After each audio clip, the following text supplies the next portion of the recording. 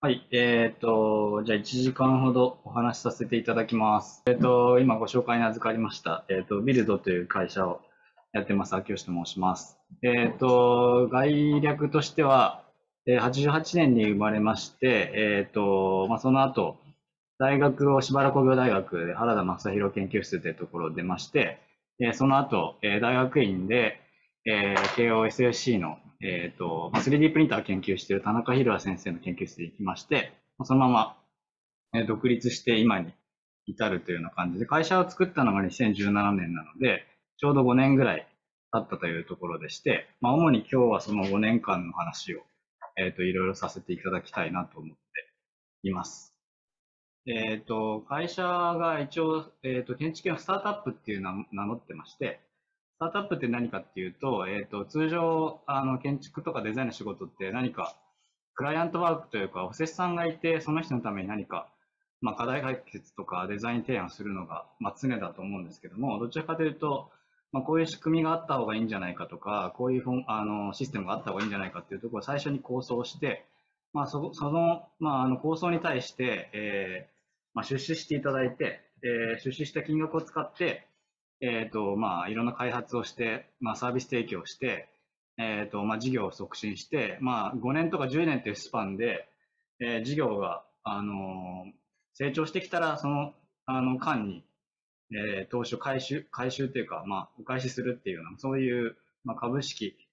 による資金調達による、まあ、あの、成長を狙う、まあ、会社のことをスタートアップって言うんですけども、まあ、建築系では、まあ、海外も日本も含めて、まあ、なかなか、まあ、珍しい。ただ、一方で、あの、いわゆる事業者としてやってる会社いくつかあるんですけども、建築家がスタートアップやるっていうパターンっていうのは、あの、世界的に見てもおそらく稀だと思うんですけども、えっ、ー、と、我々のその、まあ、出資してくださっている人たちのほとんどが、えー、まあ、名前非公表の人も含めて大体、えー、15人か20人ぐらいいるんですけど、ほとんどが IT 企業のベンチャーを、えーと、自分で立ち上げて上場して、まあ、一通りあの30代、20代のうちにやりきったような人たちが、え、株主でして、えーとまあ、例えば Yahoo! Japan を立ち上げた人だとか、あるいはメルカリっていう会社を今の会長やられてる方だったりとか、まあ、いろんなそうそうたる、まあ、スタートアップの界隈の中ではすごく、えーとまあ、著名な方という人たちが応援してくださっていて、僕らの株主として、えーと、資金も出していただきながら、えっ、ー、と、事業の、まあ、実際の利用者にもなっていただいて、まあ、もう一歩踏み込んで、建築家としても建築の依頼もしていただいているっていう、まあ、そういう関係です。で、こういうふうに、あの、いろんな人に応援してもらいながら、会社のメンバーも大体、今40人ちょいいるような形です。で、主にやってる仕事としては、えっ、ー、と、木材加工機、えっ、ー、と、まあ、昔で言うところの NC 加工機っていうものを、まあ、あの、まあ、3D プリンティングもそうなんですけども、80年代ぐらいに開発されて、ある種、ブームになった技術が、えっ、ー、と、ロー、まあ、ローコストになって使いやすくなるようなことが、この20年ぐらいずっとあの技術革新によって進んできて頭打ちになってきていて、で、まあ、このあの CNC の加工機も、これ自体はあの組み立てキットで届くっていうような機械なんですけども、世界で1万数千台普及している機械を、まあ、日本で、えー、と普及するっていうことをやってます。まあ、国産機もちろんあるんですけど、やっぱりこの使いやすくて、えー、と自分でメンテナンスできて、えー、自分でシステムを改変できるっていう、そのオープンな姿勢がすごく重要で、まあ、国産機だとなかなかそのデータ改変っていうものとか、ハードウェアの内部いじったりとかっていうことは通常、普通だと、あの、業者の方は、えー、とメーカーはやりたがらないんですけども、まあ、そういうことが全部オープンになっているので、えっ、ー、と、まあ、ユーザーに愛されていて、まあ、世界で一番あの使われている CNC 機械をまあいろいろ普及させています。で、こういうことが何が起こっているかっていうと、えっ、ー、と、まあ、コンピューター、まあ、いわゆるスマートフォンとか、あの、パーソナルコンピューターっていうもの皆さん手手元にあると思うんですけども、昔はこれが、あの、まあ、暗号解析の技術に使われてたりとか、まあ、大学に1台あったりとかっていうようなものだったわけなんですけども、まあ、これが個々人の手に、え、行き渡ることによって、まあ、今皆さんが起きているように、まあ、こういうふうに、まあ、自由な動画を見たりだとか、あるいは写真を撮って発信したりだとか、まあ、あの、文字を自由に書いて発信したりみたいな、なんか自分たちで、え、ー、と、自分たちの情報を生んで、それをシェアして広げていって、まあ、他の誰かと繋がるみたいなことが起きているんですけども、こういう感覚でまあ、建築を作ることとか家具を作ることとかっていうことが、あの、オープンになっていくっていうことを、えっ、ー、と、まあ、見据えて、えっ、ー、と、建築に関わる人をどんどん増やしていこうっていう活動を、あの、しています。で、えっ、ー、と、今日主に、あの、その辺の背景を、えっ、と、最近出した、あの、メタアーキテクトという本に、えいくつかまとめているんですけども、まあ、あの、この内容については一部前半、えっ、と、触れますが、え右手に構想がまとまっていて、左手に実践が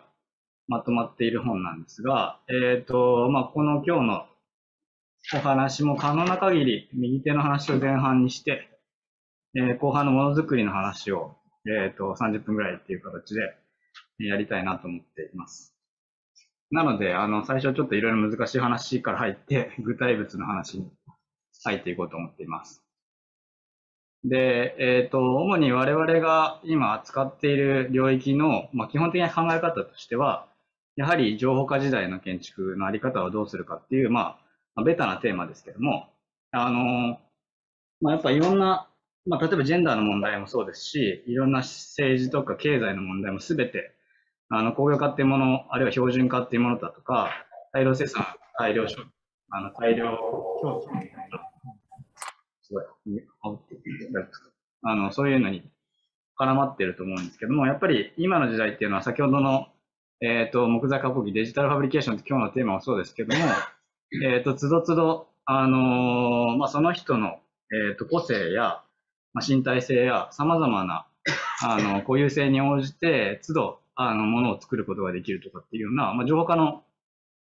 良さを生かした、ものづくりあるいは社会の作り方っていうところに、あの、まあ、本来徐々にシフトしていくべきなところを、あの、まあ、スタートアップ、あるいは事業とか、あるいは他の人たち巻き込んで一緒に、あの、世の中変えていくっていうところで、あの、まあ、情報化の技術を使って、えっ、ー、と、それぞれが、それぞれの地域あるいは個性を生かして、まあ、あの、過ごしたり、生活をできるような、そういう社会にしていこうってことで前提で動いてるので、なので、まあ、この後住宅の事業とかも今やってるんですけど、大量に生産して型を作って大量に流して届けていくっていうこととかと、真逆の、あの、ポジションを取ってるってことが、結構最初重要かなと思っています。で、あとは、その本にさっきメタアーキテクトって名前があったんですけども、まあ、何を目指してるかっていうと、やっぱりものづくり、作ることに回帰していくことと、まあ、情報技術、いわゆるアーキテクトって、やっぱりその構造、まあ、つまりそのプログラムとかも含めてシステム全体を作っていくっていう、まあ、ベタにあの情報、僕らプログラミングして、え、ー、と、ソフトウェア開発して、え、ー、と、サービスとして運用するみたいなこともやってるんですけど、そういう、まあ、情報技術を使ったシステムを作っていくという意味での、まあ、アーキテクトと、あとはそのものづくり、実際に図面だけじゃなくて、やっぱり自分たちで使って、え、ー、と、製造して、えっ、と、まあ、部品をアセンブルするっていうところまで含めた、まあ、マスタービルダー的な側面両方を持っていきましょう。ということを掲げているのがメタアーキテクトという職能で、これはほぼ、あの、本人もさん言及してるんですけども、ほとんど大工さんがやってきたようなことで、あの、まあ、寸法体系とか山に分け入って、まあ、木を見たりとかっていうこととともに、まあ、人をどうやって育てるかとか、あるいはどういうふうに、あの、接合させていくかっていうような、ものづくりの話や、その背景に潜むこともすべて大工さんっていうのはやられていたので、まあ、それをまあ、現代風にアップデートした概念だと言えます。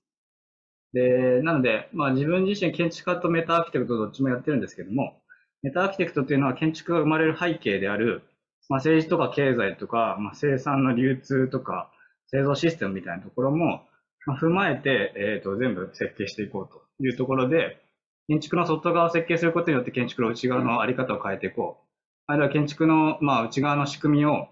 えプロトタイピングすることによって社会にその、えっ、ー、と、影響力を及ぼしていこうという、まあ、両方の軸を持とうということを、えっ、ー、と、活動の基軸に置いてます。で、まあ、大学から大学に行くにあたって学問転、転、転学というか、あの、学問留学したんですけども、その理由は、やっぱりこういう、あの、当初掲げていた、まあ、建築の外側をやるという意味で、やっぱりその、まあ、ビジネス、これ今スタートアップやってますけども、えー、まあ、ビジネスのことだとか、あるいは社会とどういうふうに接点を持つかっていうことだとか、あとは、デジタルリテラシーどうやって高めていくかとか、あるいはものづくりどうやってやっていくかってことを自分で得得したくて、今の、えっ、ー、と、まあ、進路を変えて、今、あの、独立して自分でやってるというような感じです。で、詳細は後で、えっ、ー、と、いろいろお話ししますけども、えー、同時にもう一冊本を出してまして、えー、まあ、建築家の解体っていう本を、えっ、ー、と、自分の本書きながら並行して、海外の建築家じゃどうしてんだっていうことを、あの、6組の建築家に、えー、コロナだったので、オンラインで全部インタビューして、一冊の本にまとめています。で、この中に出てくる6人の建築家も同様に、えっ、ー、と、まあ、スタートアップとして、えー、資金調達をして、自分たち設備投資あるいはシステム開発をして、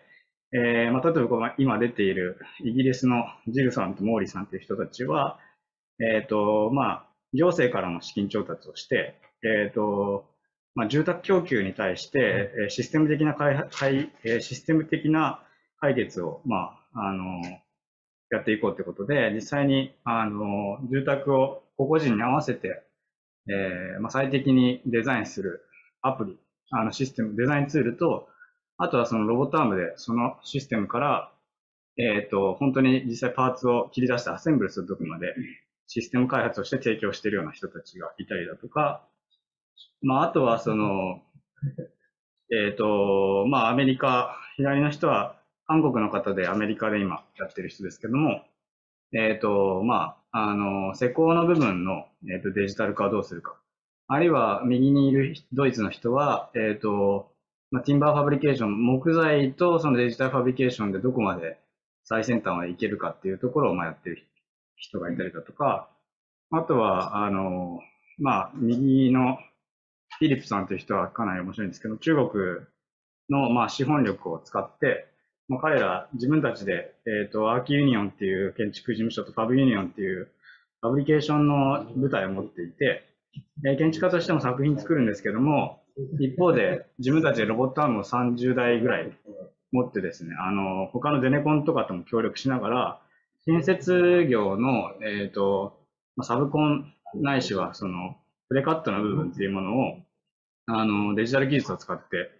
あの自分たちも製造もするし、その技術ノウハウを、他の工務店あるいはゼレコンにインストールするっていう作業をやっていて、まあ、その製造システムの輸出というか開発をして供給するってこともやってたりします。なので、割とあの同世代とか30代で、えっ、ー、と、まあ、自分たちと同じようなモチベーションで動いている人たちが世界にポロポロ出始めている。で、この背景は、やっぱりあの、2008年のリーマンショックを経たっていうことが、まあ、インタビューしていると彼らにとっては重要なところで、えー、リーマンショック時期に、えー、以降に、あの、就職活動しているような人たちだったというところでして、まあ、その時何が出てるかっていうと、デジタルツールが、えっ、ー、と、まあ、扱いやすくなってきてる。まあ、それはコンピュテーションデザインみたいな、設計の方法論もそうだし、デジタルファブリケーションみたいな、えっ、ー、と、製造技術の情報化みたいなところも、えー、やや一般化されつつあった時代にあって、かつ、まあ、経済の、あの、行く末を見たというところがありまして、まあ、このままで本当に、えー、経済いいんだろうか、あるいは建築家ってこういう社会との関わり方でよかったんだろうかってことの、あの、内政というか、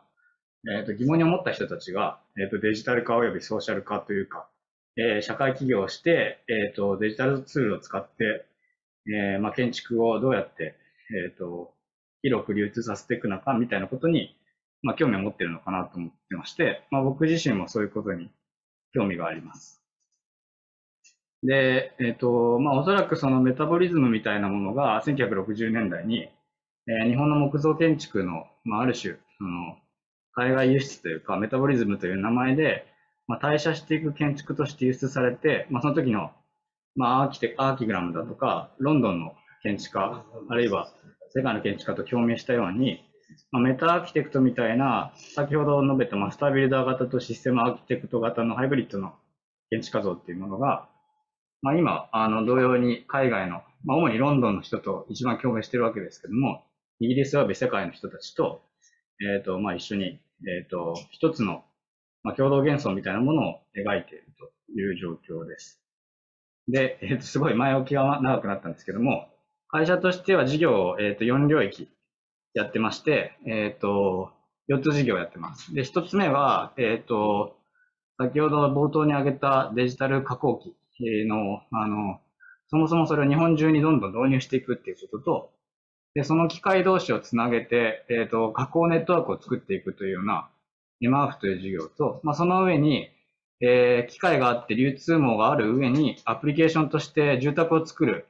えー、ソフトウェアをあの公開していくというネスティングという事業をやってまして、でこれらすべて、要は、えっ、ー、と、製造技術、流通技術、あとは設計技術っていうものを統合して、えー、建築家としてはビルド、あ一級建築士事務所として、えっ、ー、と、まあ、作品を作っていますと。いう4段階になってるんですけど、これどういう構成かっていうと、インターネット黎明期も、やはり誰かが、えっ、ー、と、デバイスだけあっても、あの、何もできなくて、やっぱりそこにインターネットがつながって、でその上に、まあ、例えば、Google とか、まあ、もちろんあるいは Word とか Excel みたいなアプリケーションが乗ってくることで初めて、えー、コンピューターっていう計算技術を使えるようになってきたので、まあ、それと同じように、まあ、そもそもまずスマホとか PC が日本に、まあ、あるっちゃあるんだけど、使えるようになってないっていうところで、まあ、ゼロからある種回線を引くのと同じように導入をしていって、まあ、その上で、えっ、ー、と、まあ、機械同士をつなげるような作業として、建築のインターネットって自分は呼んでるんですけども、その機械同士をどういうふうに連携させるのかっていう、まあ、仕組みを作って、まあ、その上に、まあ、素人でもデザインできるようなツールを載せていくというような3段階、まあ、インターネットがやってきたようなことを、まあ、踏襲して、えー、建築の産業に応用を試みています。で、まあ、あの、まあ、そういう意味で言うと4、4つの事業というものは、えっ、ー、と、まあ、システムとプラットフォームをやってる日本、2個の上の軸と下の軸があるんですけども、プラットフォーム、要は建築に参加する方法を考えるという、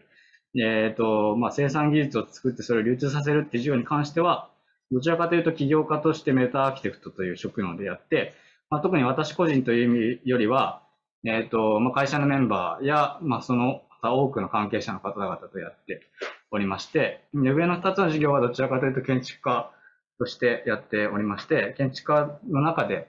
えー、培ったものを、えっ、ー、と、再配分というか共有化していくっていうところで、ある種テンプレートあるいはフォーマット化して、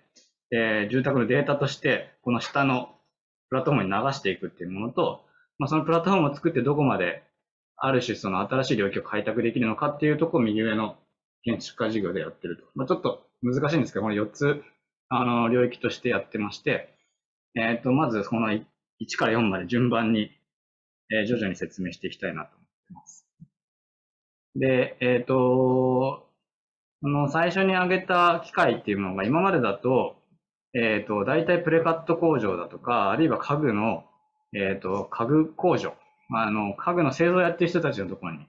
入っていました。ただ、今我々のお客さんというか、導入してくださっている人たちっていうのは、どういう人かっていうと、この川上にいる、えっ、ー、と、まあ、森林持ってる人たちですね。あの、まあ、あるいは製材、あるいは自治体さん、あの、あるいは工務店が持ってる場合もあります。ですけど、まあ、重要なところとしては、材料を材料として売るんじゃなくて、自分たちでプレカット、小規模なプレカット機、これ僕、ね、具体的な値段としては500万で導入できるんですけども、えー、まあ補助金通っちゃえば一発で買えるようなもので、えっ、ー、と、頑張って1年、2年、普通に動かしてれば元手が取れるような機械です。今、今、だいたい500万ぐらいです。大きさ選べるんですけど。で、まあなんで材料を材料として売るんじゃなくて、そこにやっぱり付加価値つけて、教育コンテンツにするだとか、ワークショップにするだとか、あるいは本当に商品開発して販売するみたいな、直接、あの、お客さんに今まで材料だけ売って二足三門だったものを自分たちで付加価値つけて販売していくっていうことができるよねっていうところに気づいた経営者たちが、えっ、ー、と、まあ、買ってくださっていて、今、えー、130数台入っています。これ、大学、僕は大学院の時から、えー、導入し始めて、今、それぐらいの数になっています。で、僕は営業してるわけじゃなくて、ほとんど口コミで、えっ、ー、と、まあ、みんな導入したいってことで入ってで、まあそこで起きてることで面白いこととしては、まあなかなか建築系の大学院、大学や大学院に入ることって、まあこの1年は、まあ例えば東大に入ったりとか、えー、増えてきたんですけども、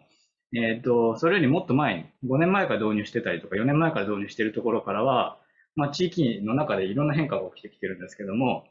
まあ、一番大きな変化としては、地域の、まあ、教育の中で、え建築系の大学ではなくて、え小中高というような、まあ、初等教育あるいは中高という教育の中で、この子供たちはみんな、まあ、ゲームやったりとか、あの iPad をいじりながら育ってきた子たちなんで、あのデータ作りって多分そんなに今の大学1年生とかに教えるの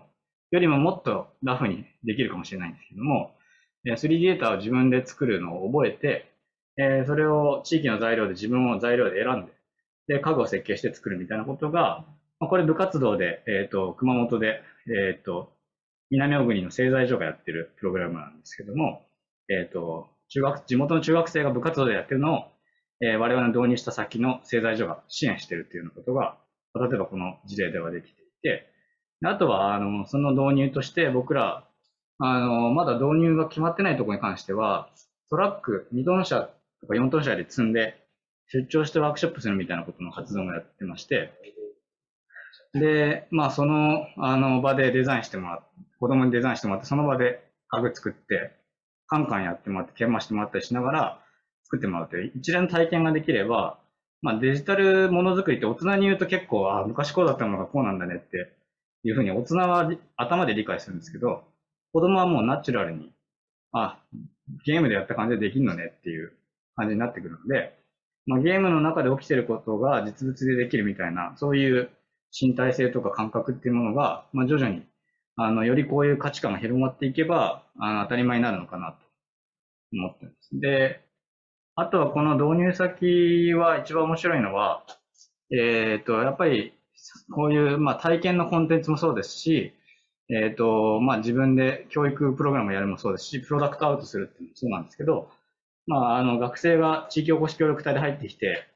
街の中の資源を使って、えっ、ー、と、不動産をリノベーションして、あの仕事にしたりだとかっていうふうに、機会一であると、まあ、教育も活性化するし、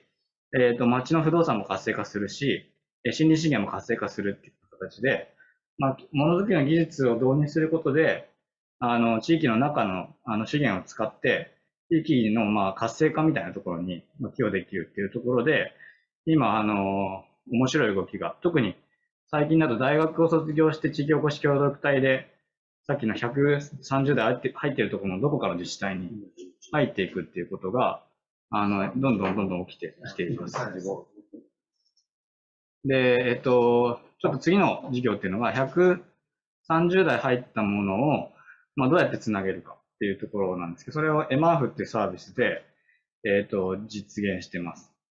で、MRF っていう事業は何かっていうと、まあ、先ほどのあのショップボットという機械は実際に動かしたりとかデータ作るのには、専門のソフトウェアを買って覚えて、えっ、ー、と、それなりにスキルが必要なんですけども、やはりそうすると、なかなか導入して、例えば1年最初に慣れた人が、あの、次の年辞めましたみたいなこともあるんで、そうすると1から教育しなきゃいけなかったりとか、機械作る上でゼロから覚えなきゃいけなかったりするので、それは、えっ、ー、と、作りたいって思う人もそうですし、機械持ってる人にとってもあんまりいいことはないので、そういう意味で言うと、あの、データがあれば、え、ー、と、僕らメマフっていう、これウェブサイト上のサービスなんですけど、ウェブ上に 2D の印刷物をプリンターみたいな形で送って、えっ、ー、と、印刷機が出るのと同じような感覚で、えっ、ー、と、2D のデータ、あるいは 3D のデータを我々エマンフのサイトに投入すると、板が勝手に並べられ、変えられて、大体どれぐらいのパーツ数で、どれぐらいの枚数で、いくらぐらいでどれぐらいで届くかっていうのが、まあ、瞬時に算出されるようなものになってまして、で、これ何かっていうと、要は、あの、えっ、ー、と、ちょっと難しいんですけど、通常何かプレカットっていうか、何かその家具屋さんに、こんなもの作りたいんですよねってなった時に、ホームセンターでさえ結構自分で手でこういろいろ書いて、やんなきゃいけないし、まあ、専門の、例えば NC 加工機使いたいって一般の人がなっても、コミュニケートして、じゃあその、実際いくらなんですかってもなかなか言えないし、あの、どうなるかわかんないっていうところは全部ウェブサイトで完結してるようになってます。なので、えっ、ー、と、ユーザーとしては自分でデータ入れると、そのままパーツが届くっていう形になっているので、本当に 2D の印刷物とほとんど同じ体験になってます。で、まあ、それを裏支えするのが、あの、まあ、勝手にそれぞれの CAD から我々の MRF にダイレクトにデータを飛ばせるような、まあ、ちょっと難しいんですけど、そういう、えっ、ー、と、システムになっていたりとか、あとはそれぞれの、えっ、ー、と、ソフトウェアごとに、あの、まあ、家具の、まあ、仕口や接合部みたいなものを、まあ、あの、まあ、僕らがプラグインを、プラグインって、まあ、えっ、ー、と、サポートツールを提供しているので、まあ、そういうものを提供することで簡単に、あの、接合部作れるようなものとかを、えー、共有しているので、あの、通常、例えばその、仕口とか、あの接合部考えるのはまた別の職員さん、あるいは職能を持った人たちに、えー、例えば実施図面というか、収まり考えてくださいとかっていうことをずっとやって分業してきたわけなんですけども、それを一つの、えっ、ー、と、仕組みの中で完結させていくことで、あの、まあ、考えたことを、その、実際に作ることをできるように、まあ、通常そこは分断されてるっていうのが、まあ、教育や、あの、まあ、いろんなサプライチェーンの中で課題になってくるわけなんですけど、まあ、そこをデジタル技術で乗り越えていこうってことを、まあ、やってます。で、これで何が今起きているかっていうと、えー、大体、あの、約4000人ぐらい、えっ、ー、と、ユーザーがいるんですけども、ほとんどが、えっ、と、独立の建築家、え、小規模設計事務所でして、中には3割ぐらいが学生で、で、要は、機械を自分で今までだと500万買わないと今の機械に触れられなかったんですけども、オンラインで入稿すればそれにアクセスできるので、かつ、あの、普通の家具メーカーと違って、在庫を持つ必要もないし、工場のラインも必要もないので、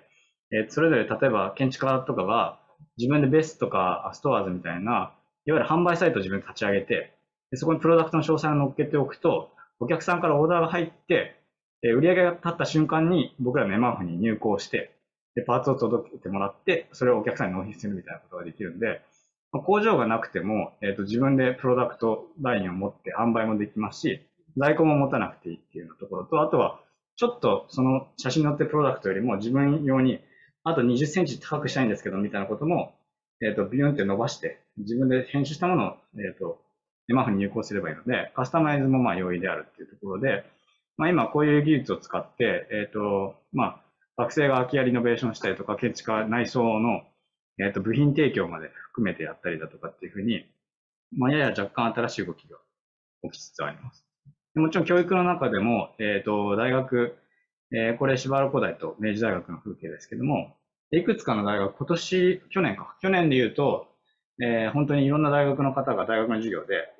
自分たちは大学にショップボットの機械入れられないんだけど、MRF があればデジタルファブリケーションの授業やれますよねっていうことで、MRF を使って授業をやるっていうことが、あの、今すごく増えてきています。で、同時に鹿児島の、えっ、ー、と、工務店さんと、えっ、ー、と、鹿児島大学さんと、えっ、ー、と、先ほどの、えっ、と、熊本の、えっ、と、まあ、ファブラボでは、えっ、と、子供のために、同じようにこの大学でやってるようなプログラムも、えっ、と、教育コンテンツとして子供と一緒にやったりとかしてまして、まあ、こういうことの風景を見ていると、やはりその大学生だから、こういうことができるとかっていうような、まあ、年齢とか、その、教育ステージっていうものがあんまり関係なくなってくるんじゃないかなと思ってまして、ま、そういう意味で言うと、こういう初等教育に建築教育とかエンジニアリングの教育っていうものが、ま、実は導入が、え、ー、と容易になってきていて、ま、そうするとその初等教育があれば大学に入る前から建築のデザインとかあれば、え、ー、とエンジニアリングの素養っていうものを育ててあげることで、まあ、ある種、本当に僕らが目指している建築をもう広く一般の人に開いていくっていうことが、本当の意味でできるんじゃないかなという意味で言うと、こういう子供たちの教育っていうところにはすごく今、興味を持っています。で同様に専門家、これ国用さんですけども、えっ、ー、と、家具デザイナーとか本職の人たちも、えー、こういうツールを使ってプロトタイピングをしていったりしてくれてまして、実際にプロトタイピングして自分でいろいろやってみることで、えー、今、それぞれのプロジェクトの案件で、えっ、と、実際に大量の発注、え例えば商業空間の中のワンフロア、何千平米を全部 MRF でやりたいんですみたいなプロジェクトが、え徐々に起きていて、あの、まあ、えっ、ー、と、MRF の実は事業のほとんど8割9割の売り上げはほとんど法人のプログラムで、そういうその内装が完成した後の、あ内装というか、えっ、ー、と、工事が完成して内装の、えっ、ー、と、作り込みで、なかなか複雑なものをやるんだけど、通常の、え造作家具工事だと予算が合わないものが、あの、全然僕らが品質も担保できるし、コストも担保できるので、えっ、ー、と、まあ、いろいろ依頼していただいているという感じです。で、あ、これ動いてる。あとは、その、まあ、ちょっといろいろ話が長くなるんですけど、技術的にはいろいろいくつか持ってまして、一つのテンプレートを編集していくみたいなことも技術としては持っています。で、まあ、ちょっとこの辺は割愛しますけども、えっ、ー、と、やっぱり新しい技術なので、企業の方も、あの、もちろん大学生もなんですけど、最近やっぱ企業の人の再研修プログラムとして、どうやってその 3D データを使うかとか、こういうデジタルものづくりやるかっていうところを総合的にサポートする活動を、あの、この MRF のチームはやってまして、その中には、えっ、ー、と、独立した建築家の人たちもいろいろ参加していただいてまして、まあ、自分でこういうのを勉強して、やっぱり自社の、えっ、ー、と、プロジェクトで使いたいんだみたいな人が、本当に最近増えてきてまして、それを総合的にサポートするっていうことを、あの、やってます。まあ、それこそまさにメタアーキテクトっていうか、アーキテクトとかあるいは一般の人こういうものを作りたいんだっていうことを、まあ、どうやってサポートするのかっていうことを総合的にえっ、ー、と、やってます。で、まあ、こういうことをやることで、結構今面白いのは副業で、例えばその、なんとか設計という形で組織に勤めてる方が週末で、あの、そのデザイン力を、あの、余剰として、あの、地域の中に、あの、還元していくみたいなことが、まあ、起きていっていまして、まあ、そうすると、やっぱり、通常の自分たちの平日の仕事だと、やっぱり、あの、法人を相手にすることが多いと思うんですけども、目の前にいるとか、自分の街にいる人に対して何か提供するみたいなことが、まあ、こういうリアルな材料がある場所、えっ、ー、と、地域のコミュニティができている場所、そういうところに参加していくことによって、あの、自分たちが持っているデザイン力っていうものをもうちょっと民間の、あの、日常の中に溶け込んでいくようなことができるんじゃないかなと思ってまして、まあ、副業をやろうとしている企業に対して、果敢に今アプローチをしています。はい。まあ、ちょっとこの辺も長いですけど、まあ、MF っていうのは、あとはそのデータと機械を全部つなげるってことで、我々が導入しているショップボット以外の機械にも直接、あの、プレカットできるような仕組みっていうのを、例えば、あの、まあ、全国に何台も導入されている機械だとか、そういうものに、えっ、ー、と、接続できるようにしています。あとは、まあ、ジグを作って、あの、不定形な丸太とかも加工できるようにしたりだとか、あるいは、端材とかをもう直接スキャンして、えっ、ー、と、木目とかも見ながら、えっ、ー、と、不定形な材料を加工するみたいな技術も、えっ、と、要素技術としては自分たちは持ってまして、まあ、こういうものは今まだウェブサイト上ではオープンしてないんですけども、法人とかその特殊なプロジェクトで、えー、ビルドさんやってくださいっていう時に、あの、こういう技術を出して、えっ、と、支援していたりします。で、えっ、と、ここからが、えっ、と、まあ、どちらかというと、もうちょっと規模も大きくなって、ものづくりの話になっていくんですけども、えっ、と、ま、前、えっ、と、先月そのアーキニアリングデザインって賞で、賞をいただいたマルビットの家の話から入りますが、えっ、ー、と、まあ、こういうふうに家具をどういうふうにして、えっ、と、プラットフォームにして共有していくのかっていうところまでやったので、次はやっぱり住宅まで作っていけると、まあ、森を動かせるぐらいまでなるんじゃないかっていうところで、やっぱり住宅とか建築の方向にどんどん行かなきゃなっていうところを、えー、マーフが会社作って2年目に、えっ、ー、と、えー、出しまして、えっ、ー、と、この丸人の家も同時に2年目から3年目ぐらいの間にやっていたプロジェクトでして、もちろん当然我々住宅設計した経験もなければ、えー、家具以上のものを作ったことはなかったんですけど、まあ、まずは家をやってみようということで、えっ、ー、と、富山県南砺市戸賀村という、えっ、ー、と、限界集落の場所に、えっ、と、同じ五箇山というエリアに、えっ、と、ショップボットを買ってくださった人たちがいて、かつ林業はやっぱり、市長のおじいちゃんの代から、あの、ちょっと衰退しちゃっているんですけども、やっぱりこんだけ、えっ、と、リニア率90%のところなので、やっぱ活性化していきたいというところで、ちょっと、あの、呼んでいただいて始まったプロジェクトです。で、この山奥に今2世帯しか住んでいないんですけども、やっぱりここを離れるとか、あの、やっぱ衰退していくのは、なんか少しやっぱり悲しいというか、あの、何か思うことがあるということで、あの、むしろ逆に人を呼ぶような離れを作りたいということで、あの、ここに住む上田夫妻と共に始まったプロジェクトなんですけども、えっ、ー、と、まあ、90%山なので、もう本当にとにかく木がたくさんあるし、えっ、ー、と、土木工事するときに倒木がたくさん取れるので、まあ、そういうものを使って、えっ、ー、と、建築を作れないかっていうところで、まあ、伐採と、あとはこういうその転がってる材を、製材をする。で製材機はショップボット入れてくださったところにあってですね。で、製材を横でして、で、この場合、家具にも建築にもできるように、あの、30ミリに引いていって、で、それを製材機の横にある機械で加工して、あの、まあ、小さく、えっ、ー、と、切り刻んで、で、これで、まあ、うちのメンバーとか、村の人と一緒に、えっ、ー、と、まあ、1メーターの30ミリの厚みなんで、こうやって一人でポンって、まあ、持てるような重さなので、えっ、ー、と、持ち寄って、あの、建築を作っていくってことをやりました。なので、あのまあ、できる限りデータの、えっ、と、東京あるいは神奈川で、えっ、と、データを作ったものを向こうに送って、で、現場にある素材で、できる限り物を動かさずに、データの輸送だけで建築を作るってことを、あの、理想として掲げていたので、どれだけ物の輸送を少なくできるかってことを、割と、あの、ちょ、まあ、実証したかったんですが、まあ、一応この、えっ、ー、と、まあ、直径15キロ、まあ、半径、まあ、10キロ圏内って呼んでるんですけど、まあ、その距離内で、えー、伐採したものを、えーと、プレカットして、えっ、ー、と、組み立てることがでできるとしては、あの、すべて、えっ、ー、と、組みというか、両サイドから材料を入れて、えー、看護させて、コミ線で止めて、すごく固める。で、まあ、現地でモックアップをして、えっ、ー、と、まあ、自分たちで立ててみて、いろいろトライアンドエラーしながら、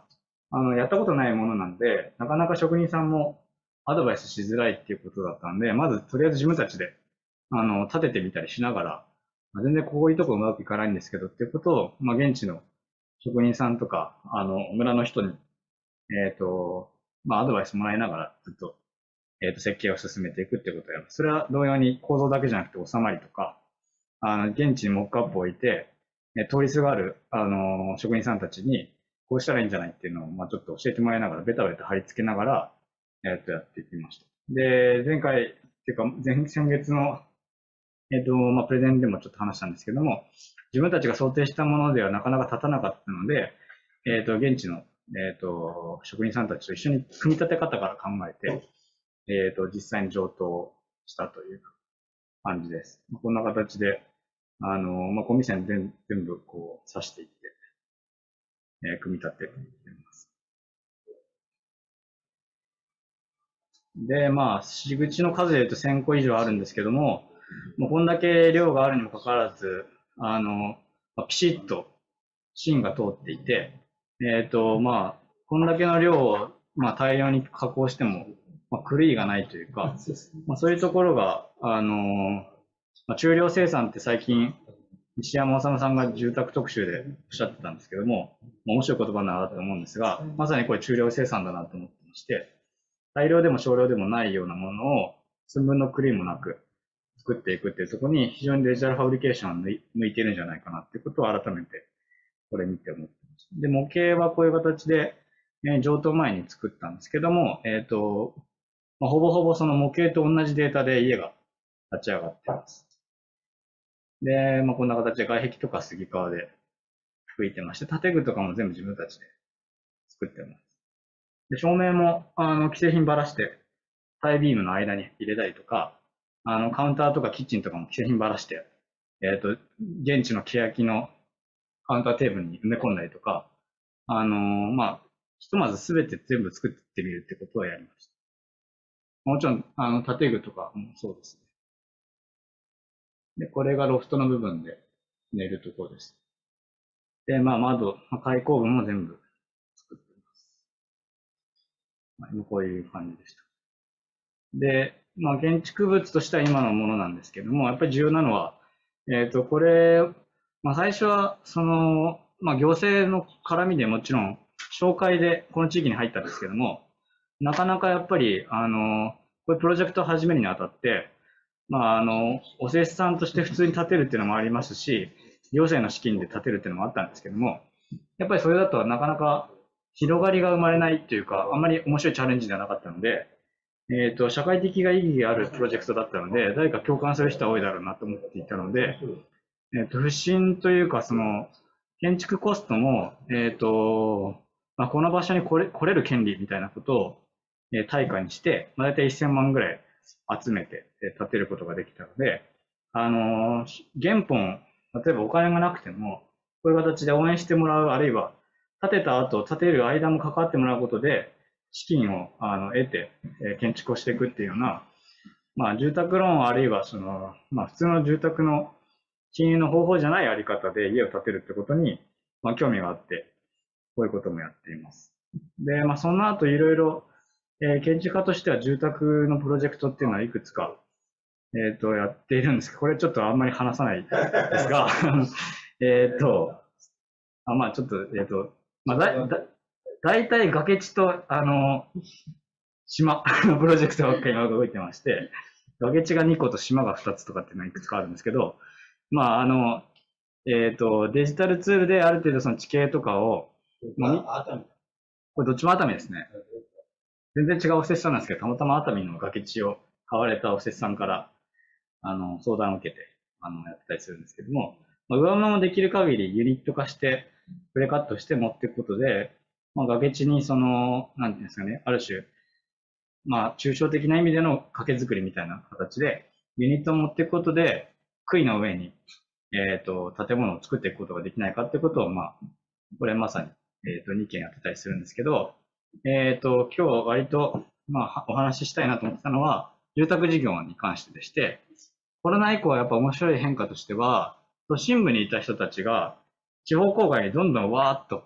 出始めていて、移住者でいうとコロナの前の7倍に増えてます。で、ほとんどが、え、ー、と、地方移住を考えてなかったそう。なんで、ある種、その、中流階級の上、中の上ぐらいの階級の人たちは出始めていて、そういう人たちって、なかなかその、えっ、ー、と、こだわりがあるんですけど、建築家に頼むほど、時間的余裕とか、その建築家に頼んでもめんどくさいだろうっていう人たちが多くて、あの、お金も不透明だし時間もかかるっていうことに結構ストレスを感じるような人たちなんですけども、なかなか解決策がないっていうことで、えっ、ー、と、まあ、割と注文住宅難民って呼んでるんですけども、えっ、ー、と、まあ、特にその、軽井沢とかはまさにそうですけど、みんなそういう層が入っていって、工務店もあのパンクしちゃって、全然建築が立たないみたいな状況になっちゃってですが、まあ、それぐらい今ニーズが、あの、注文住宅のニーズがすごくあります。で、こういうところに対して、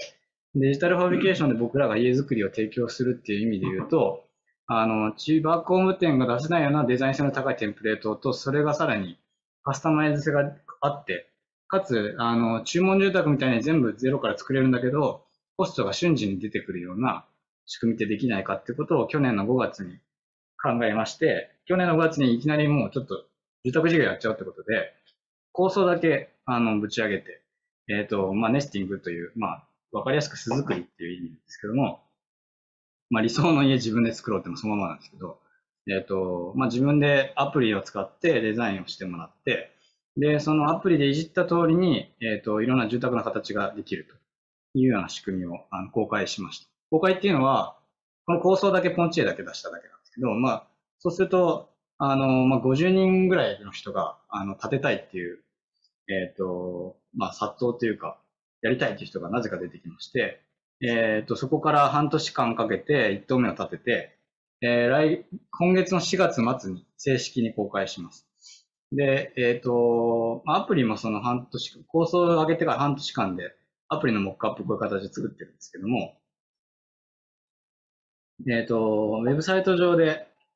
3D CAD とか不要で、ウェブ上でアプリをいじることができてですね。で、この辺はどういう窓にしたいかとか、どういう仕上げにしたいかっていうのを自分で選んでいって、そうすると金額がリアルタイムで算出できるような仕組みになってまして、一応ネスティングってウェブサイト見ると、このアプリで金額が出てくるところまで、あの、体験することができます。で、デザインが決まると、その間取りに応じて、えっ、ー、と、構造体が、あの、もちろんその見積もりも出してるんでカウントされてるので、その数に従って、え先ほどの MRF を介して、全国百数十箇所のうちの一番近いところで材料調達をして、部品確保されて届くというような仕組みになっています。で、広報的な特徴としては、えっ、ー、と、できる限りそのスケルトンとインフィルを分けたかったので、えっ、ー、と、スケルトンに関しては、あの、大空間で、えー、スパンを飛ばして、で内部のインフィルのユニットと構造として切り離すようなものにしたかったので、えー、建築構造としては割と大断面なもの、かつ薄手のものになってるんですけど、薄くなってるのはショップフォトで削るためで、えっ、と、で、大断面にする上で、通常おそらく修正剤とか CLT みたいな選択肢があるんですけど、なかなかこれ、これを、あのーまあ、現地の地場工務店とかが、え修正剤工場に行ったりとか、プレカット機に回したりっていうふうなことをやってると、なかなか小回りが効かなくなるので、えっ、と、この機械、ショップボットの機械で削れる、え大断面の作り方をいくつか試作して作って、実際自分たちの工場で、えっ、と、まあ、組み立てながら設計をしていって、板金屋さんとか他の業者さんも自分たちでこの工場に呼んで、えー収まりとかもその場で職人さんたちと決めていって、えっ、と、設計してる横で加工機が切り出されて、横でこうやって上等を自分たちで、あの、組み立てをしてるっていう感じです。あなんか固まっちゃいましたね。あ、ズームが動いてる。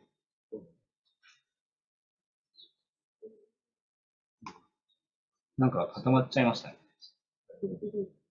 あ、動いてます？ここっちの画面はもう何も映んなかった。はい、えーっと、あ、こっち動いてる、動いてる。動いてますか？じゃあ、これ見ながらいい。やってるから。で、これ押したら動くんですかね。あ、こっちは消えましたね。まあいいや。じゃあこれ見ながら。えーっと、えーっとですね、接続が不安定。あ、えーっとですね。まあじゃあこっち見ながらやります。えーっと、まあ要はその半年間で、えっと、設計から施工まで半年で一棟建てるってことをやりまして、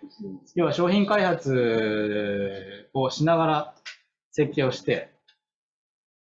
あ、最初に戻っちゃいました。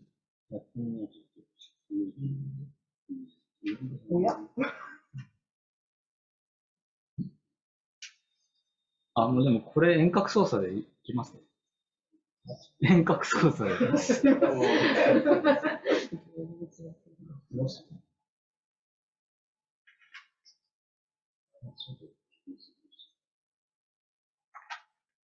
ごい、この、この体験を初めて。えーっとですね、ちょっと、あの、オンラインで聞いてる人たちには、ちょっと自分のパソコン、目の前のパソコンが完全に映ってない、止まってる状態なんですけど、なぜか遠隔では動かせるので、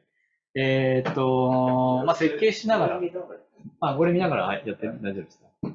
大丈えっ、と、設計をして、えっ、と、1棟目はもう本当に、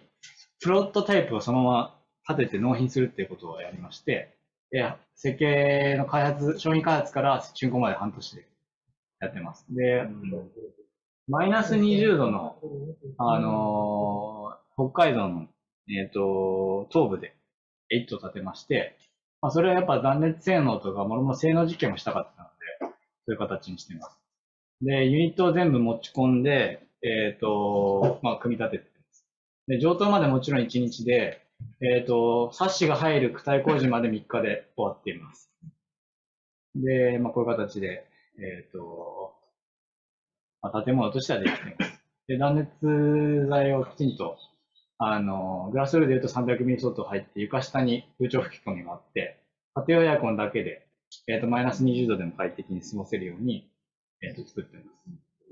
で、おせっさんが自分でこの場所を、あの、SG にして、自分でスケッチというか、当時アプリがなかったんで、自分で間取り書いてもらって、で、それのアドバイスしながら家を作っていってます。まあ、こんな感じで、できたものとしては、まあ、こういう。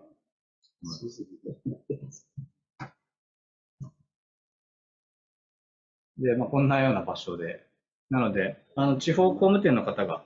一緒にやってくださっていて、えーっと、まあ、本当にユニットがあって仕組みがあれあって何回かやれば、本当にどこの工務店でも建てられる仕組みになってるかなと。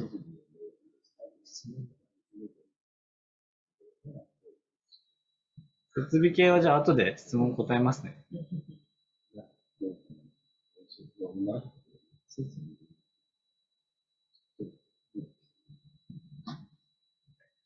はい、まあこういう形で、まあプロトタイプなんでそのまま剥き出しには。でですね、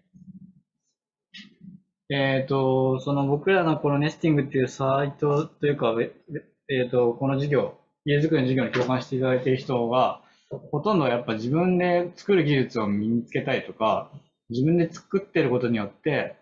あの、豊かな生活を自分で、あの、まあ、稼ぐって表現してるんですけども、お金稼ぎじゃなくて豊かな生活を描き出したいっていう人と、同時に環境負荷を下げて、かつその山の、まあ、植林とかも含めて、あの、大きな里山の回復に寄与したいっていう、まあそういう環境の感度が高い人と、そのライフスタイルの感度が高い人っていう人たちが、えっ、と、すごく反応してくださっています。で、この、えっ、と、その5月に出した段階で、半年間かけて、その個人の家づくりのプロタイプ1個をやりながら、まあ、同時にその集落を作りたいっていう人たちも出てきてまして、むしろこっちの方がニーズが多かったんですが、えっ、と、今何やってるかというと、その、一つの土地をみんなで買って、えー、まあ、ある種コーポラ的な考え方で、えっ、と、自分たちで、あの、中身をデザインして、えー、みんなで一個の家を持って、えっ、と、暮らしていこうみたいなところで、まあ、こんな形で、それぞれの、まあ、家の間取りとか、え、住まいのデザインは、それぞれの世帯がやって、で、みんなで一つの土地を持って、みんなで一つの建物を共有するっていうような家の作り方を、えっ、と、同時並行していまして、えーこれは、その、ネスティングってサービス自体、土地提供からやるんですけども、まあ、土地選んでアプリで設計して建てるっていうだけじゃなくて、まあ、仲間を集めるというか、まあ、共同で一緒にこの自分の家を、あの、あの出資して保有する仲間を集めて、ね、それで、あのーまあ、家を運営していくみたいなことを、まあ、一緒にやれる仕組みですってことも同時に、実は提供してまして、あのまあ、そういう、なんでしょうかね。複数とみんなで建てて、えっ、と、みんなで持って、で、売りたいときは、あの、勝手に抜けられるような、まあ、住宅ローンじゃない家の作り方と持ち方っていうものを、まあ、仕組みとしても、あの、提案をして、まあ、契約書のひな形ももちろん作って、えっ、と、やっていってまして、こういう複数棟プロジェクトも今、何棟か並行して進んでいます。で、4月に、えーローンチするんですけども、ちょっとチラ見せっていう形で、えっ、と、今、リブランディングを、ブランディングをやってまして、えっ、と、新しくデザインのテンプレートとか、あの、ウェブサイトのデザインとか、そういうもの全部、あの、ターゲットユーザーに合わせて、えっ、と、変えていってます。で、建築のデザインも、さっきちょっとその、骨骨した構造になってたものも、少しそのターゲットの人たちのヒアリングに応じて、あの、シンプルなものに今変えていってます。で、これも、あの、小さいものから大きいものがあって、2階建てのものから平屋のものから、あの、小屋ぐらいのものまで、えいくつかテンプレートを僕らの方で開発をして、え設計をしてまして、この中を自由にアプリで、間取りも形も変えられるし、高さも変えられるっていうようなものになってるんですけど、まあ、いきなりそんなこと言われてもユーザー困っちゃうので、えっ、と、まずは標準なこのテンプレートというか、デザイン、えっ、と、こんなものがおすすめですっていうことを今、えっ、と、共有して、これもなんとか、特に4月ローンチしてから、おそらくどんどん経っていくと思うんですけども、えやっていってます。で、かつ土地仕入れという意味で言うと、えっ、と、土地がやっぱり都心部から1.5時間ぐらいのところで、えーまあ、住んでみたいっていう人が多いので、今この1.5時間ベルトって呼んでるような、えっ、と、那須とかいすみとか、まあ、あの、八ヶ岳のあたりとか、そういうところで今、えー入手をして、同時に、この中に入っている工務店の中で、えー施工パートナーになっていただける人を、えーと募集しながら、えっ、と、土地の取得から、あの、最後の竣工させる、え工事まで、あの、一貫して提供できるように今、えー供給体制を整えて、えーまあ大体整っていると言ってもいいと思うんですけども、4月末に実際に正式にオープンして、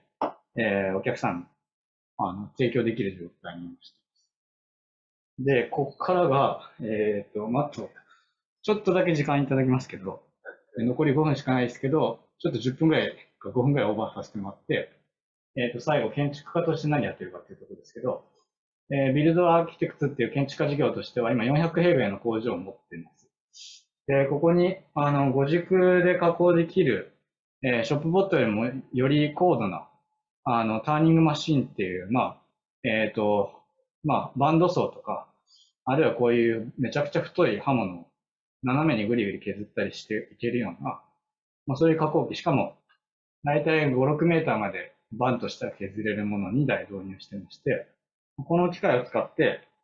えーショップボットじゃできなそうな構造体とかを全部削っています。で、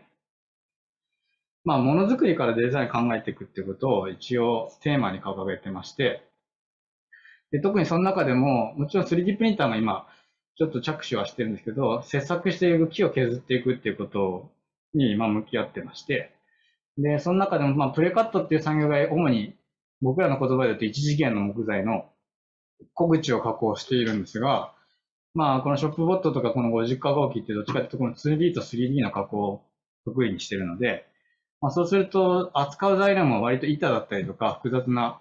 あの材だったりするんですけども、まあ、そういうものを扱ってどういうふうに建築を作っていくかっていうのは、まあ、意外とあんまりその模索されてないんじゃないかっていうところで、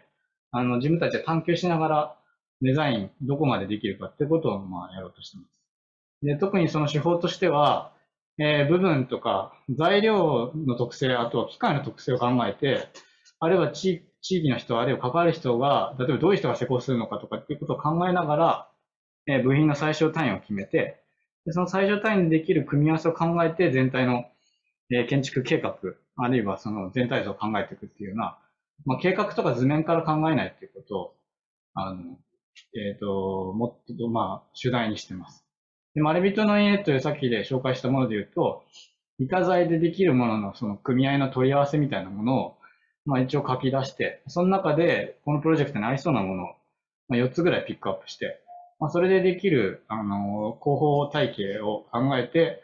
えっ、ー、と、このプロジェクトのストーリーに合うように全体像を決めていったという形でして、えっ、ー、と、まあ、そういうような形でいろんな、あの、小規模な規模で、えー、プロジェクトをこの2、3年で、えっ、ー、と、まあ、十数個多分プロジェクトやってきてまして、で、小さなプロジェクトを培ったものを今、えー、ほとんど動いているプロジェクトが建築のかなり大規模なものなんですけども、そういうものにどんどん応用していこうっていうことをやってます。で、例えばこういう、あのー、ちょっとしたテント、これ木製のテントと呼んでるんですけども、ね、これも、あの、まあ、部品の、えっ、ー、と、ミクロと一番右上に書いてあるように、えっ、と、3つの部品の組み合わせの定義だけをして、それを、えー、まあ、ある種システムで反復していくことで、全体像を作るというような仕組みにしていまして、えー、まあ、なんで3つの関係性は同じなんですけども、その一つ一つ全部パーツの形と、えっ、ー、と、大きさ、寸法が違うっていうような形になって。で、それをまあ自分たちが設計した方法論のまま、えっ、ー、と、自分たちで組み立てをして施工していくという、まあ、施工の、えー、あり方、組み立て方もある程度設計して、えっ、と、組んでいます。えっ、と、あと、これ最近作った茶室なんですけど、えっ、と、さっきのやつも全部パーツの形が違って、一個一個ナンバリングされてたんですけども、さっきの動画では模型見ながら職人さんが作ってたんですが、それ結構不合理なので、最近だとあの、えっ、ー、と、ホロレンズをつけて、それぞれナンバリングされたパーツがどの位置に、えっ、ー、と、アセントされるのかっていうのを、まあ、見ながら、えっ、ー、と、作って、こうやって施工者が自分でゴーグルつけておくと、えっ、と、どこに、その、まあ、グラスホッパー上で作ったデータがどこにはまるのかって見ながら、職人さんがパーツを選んで、かつその番号のところに持っていって施工するっていうことも、えー、今、あの、やってます。なので全部違うパーツで、全部違う番号がついてるものでも、そういうゴーグルをみんなでつけながら、えっ、ー、と、施工していけば、あの、特に問題がないんじゃないかと、そこまで言います。てます。これも600パーツ全部違う、え、ユニークな形状で作った音響スタジオですけども、まあ、こういう複雑なものは、もちろんその音響解析で形態を作っていって、で、その上で、えっ、ー、と、形を作るのと同時に、えっ、ー、と、コスト、設計施工でやるので、えっ、ー、と、予算が決まっているので、えっ、と、デザインの形状を決めると、そうすると最後、プログラムが全部連動してるんで、えっ、と、板取り、何枚ぐらいでそのデザインができるのかとかも見ながら、最終的な全体像を決めるっていう、あの、設計をしてます。で、最後に、えっ、と、まあ、いくつか動いてるプロジェクトもちろんあるんですけども、えー、ようやく最近、あの、着工する、あの、僕らとしては初めての建築物の、えー、説明しますけども、えっ、と、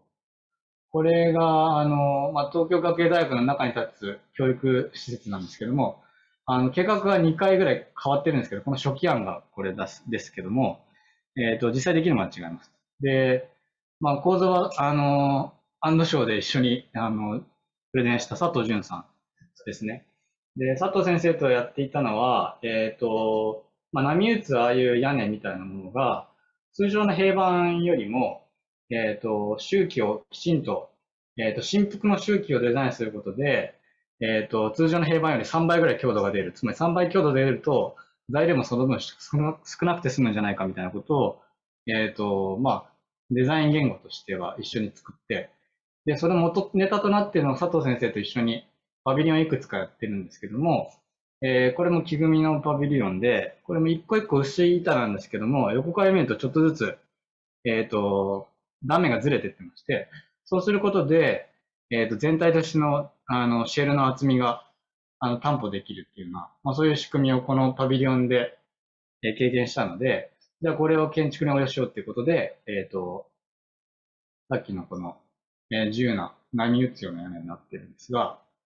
えっ、と、まあ、当初は、えーこういう1500平米ぐらいのものだったんですが、今ちょっといろいろあって、300平米から始めることになりまして、ようやくこれが5月に着工します。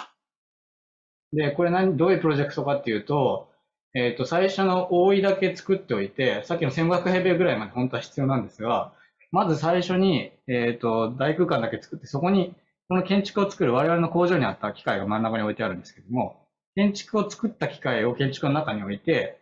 えそこから2気筒、3気筒っていうのを、えその場で作っていくっていうの、そういうプロジェクトで、まあ、それこそが教育の学びなんじゃないかっていうことを、まあ、関係者といろいろ話していって、もうまあ、要は建築家が全部最初に定義して作って一気に工事進めて終わらせちゃうんじゃなくて、最低限必要な、そもそも建築を作るための機械を置いて、みんなで作ることを覚えて建築も一緒に作っていこうみたいな、そういうプロジェクトに変わりまして、えー初期条件として300平米の、えー、と屋根をかけるっていうプロジェクトになっています。で、完成予想図がこういう形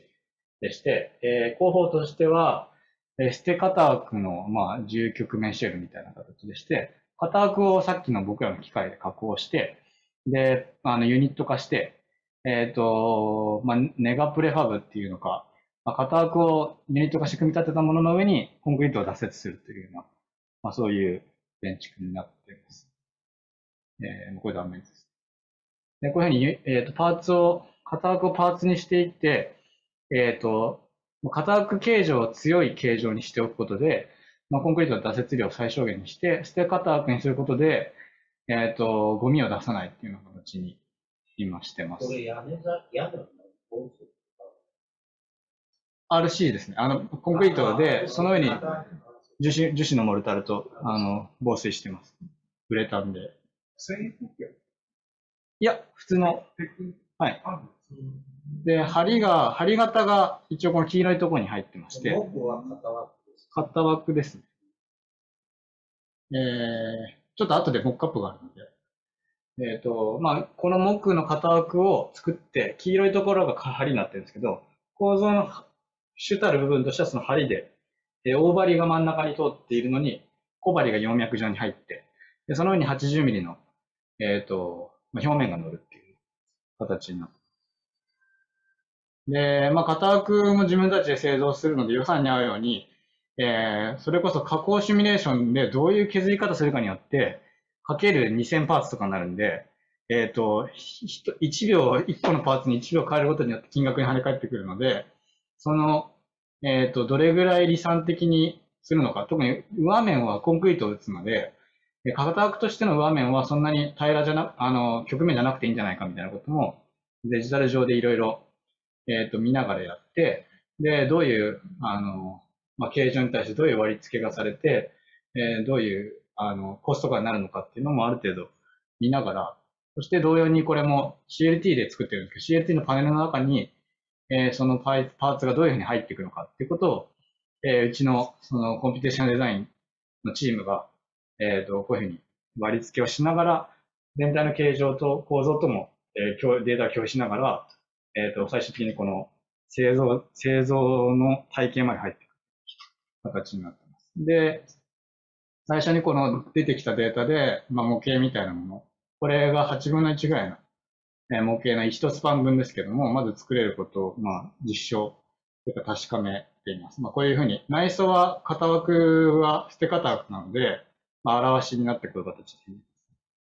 で、えー今ちょうど先月までやっていたのが、えっ、と、5月着工前に先立って、まあ、この一部分だけ実寸で作ってみようってことをあのやってまして、まあ、実寸で今作ってるのはこれです。で、この、えっ、と、四方向の組み立てから、えーこのモックアップまで、うちのあのファブリケーションチームが、えー製造から組み立てまでやっています。で、これで培ったノウハウを施工者に共有して、えこういうふうに組み立てていけば竣工できますよっていう形で、まず自分たちで試行錯誤して、まあ、やってしまうっていうことをやってます。で、ほとんどのメンバーが、え建築の外から来た、例えば現代アーティストのでかい作品を作っているメンバーとかが、えっ、と、製造を担当しまして、なので、建築の規制概念にとらわれないメンバーが、えーそもそもその、あの、施工というか、そういうこともやっています。で、まあ、こういう形でユニットのパネルを、まあ、組んでいくで、まあ、さっきのホロレンズを使いながら、えー四方向の位置、位置出し、高さと角度を、えーと、ゴーグルで見ながら、出していって、3D データと同じ位置にそこが合うようにしてます。これ、右は佐藤淳さんがそれを体験してる絵です。で、まあ、こんな形で今、あの、実物がちゃんとデータ通りに、えーさっきの40分の1ぐらいのエリアが立ち上がることを自分たちの工場内で確認をして、まあ、いよいよこれ全部削って、えっ、と、まあ、型枠を組んで竣工させようというような、まあ、ちょうどそういう状況だったので、ここちょっとあの共有しましたというところで、ちょっと10分ぐらいオーバーしたんですけど、一旦ここで終わりにしたいと思います。はい、ありがとうございます。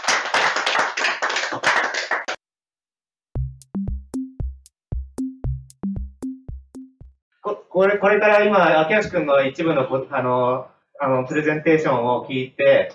今僕らがちょっと思ってることとかをいろいろ、まあ、質疑と応答して、コメンテーターと、あとは聴講者を交えてやっていきたいと思ってます。で、もともとちょっと、秋吉君のあの、このプレゼンを聞いて、ものすごく感銘を受けたんですけど、最初の頃ちょっと結構、あの、ちょっと怪しいなってずっと思ってて、このなんか、いやいやいや、変な、変な、変な建築ばっか作ってて、本当に、あの、なんか生産とか流通のことを考えてるのかなって最初の頃すごい思ってたんだけど、なんかこのプレゼンを聞いて、なんか、なんか技術的なこともしっかり考えてるし、経済面のこともしっかり考えてるし、何よりもなんか40名雇って、ものすごくなんかリスクを負って、事業、事業の経営者としてやってるっていうのは、アトリエ建築家に全然いなくて、それがすごいなって今思ったんですけど、あとはちょっとコメンテーターで、あの、あの、イレイさんと紀藤さんを呼んだ理由っていうのが、秋吉くんのデジタルファブリケーションのあの、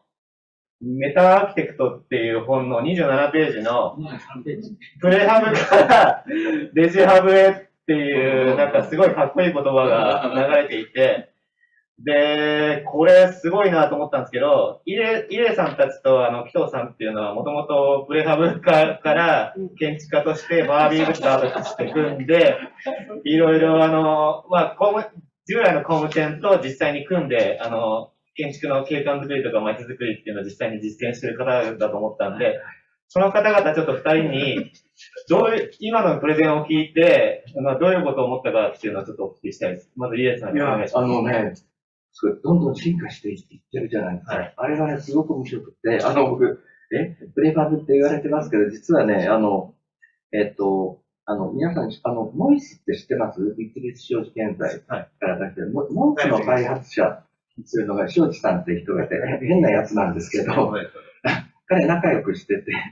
彼がね、独立して大型パネルこ、えー工法ってやってるんですね。大型パネルって普通に思いますけど、もう最初からあの断熱材のサッシもガラスも入って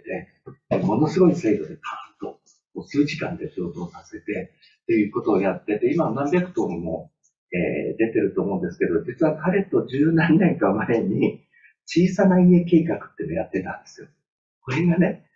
えー僕らが考えた住宅をデジデジタルで置き換えてパーツにして、プレカット工場から接種にパーツを届けるっていう計画だったんです。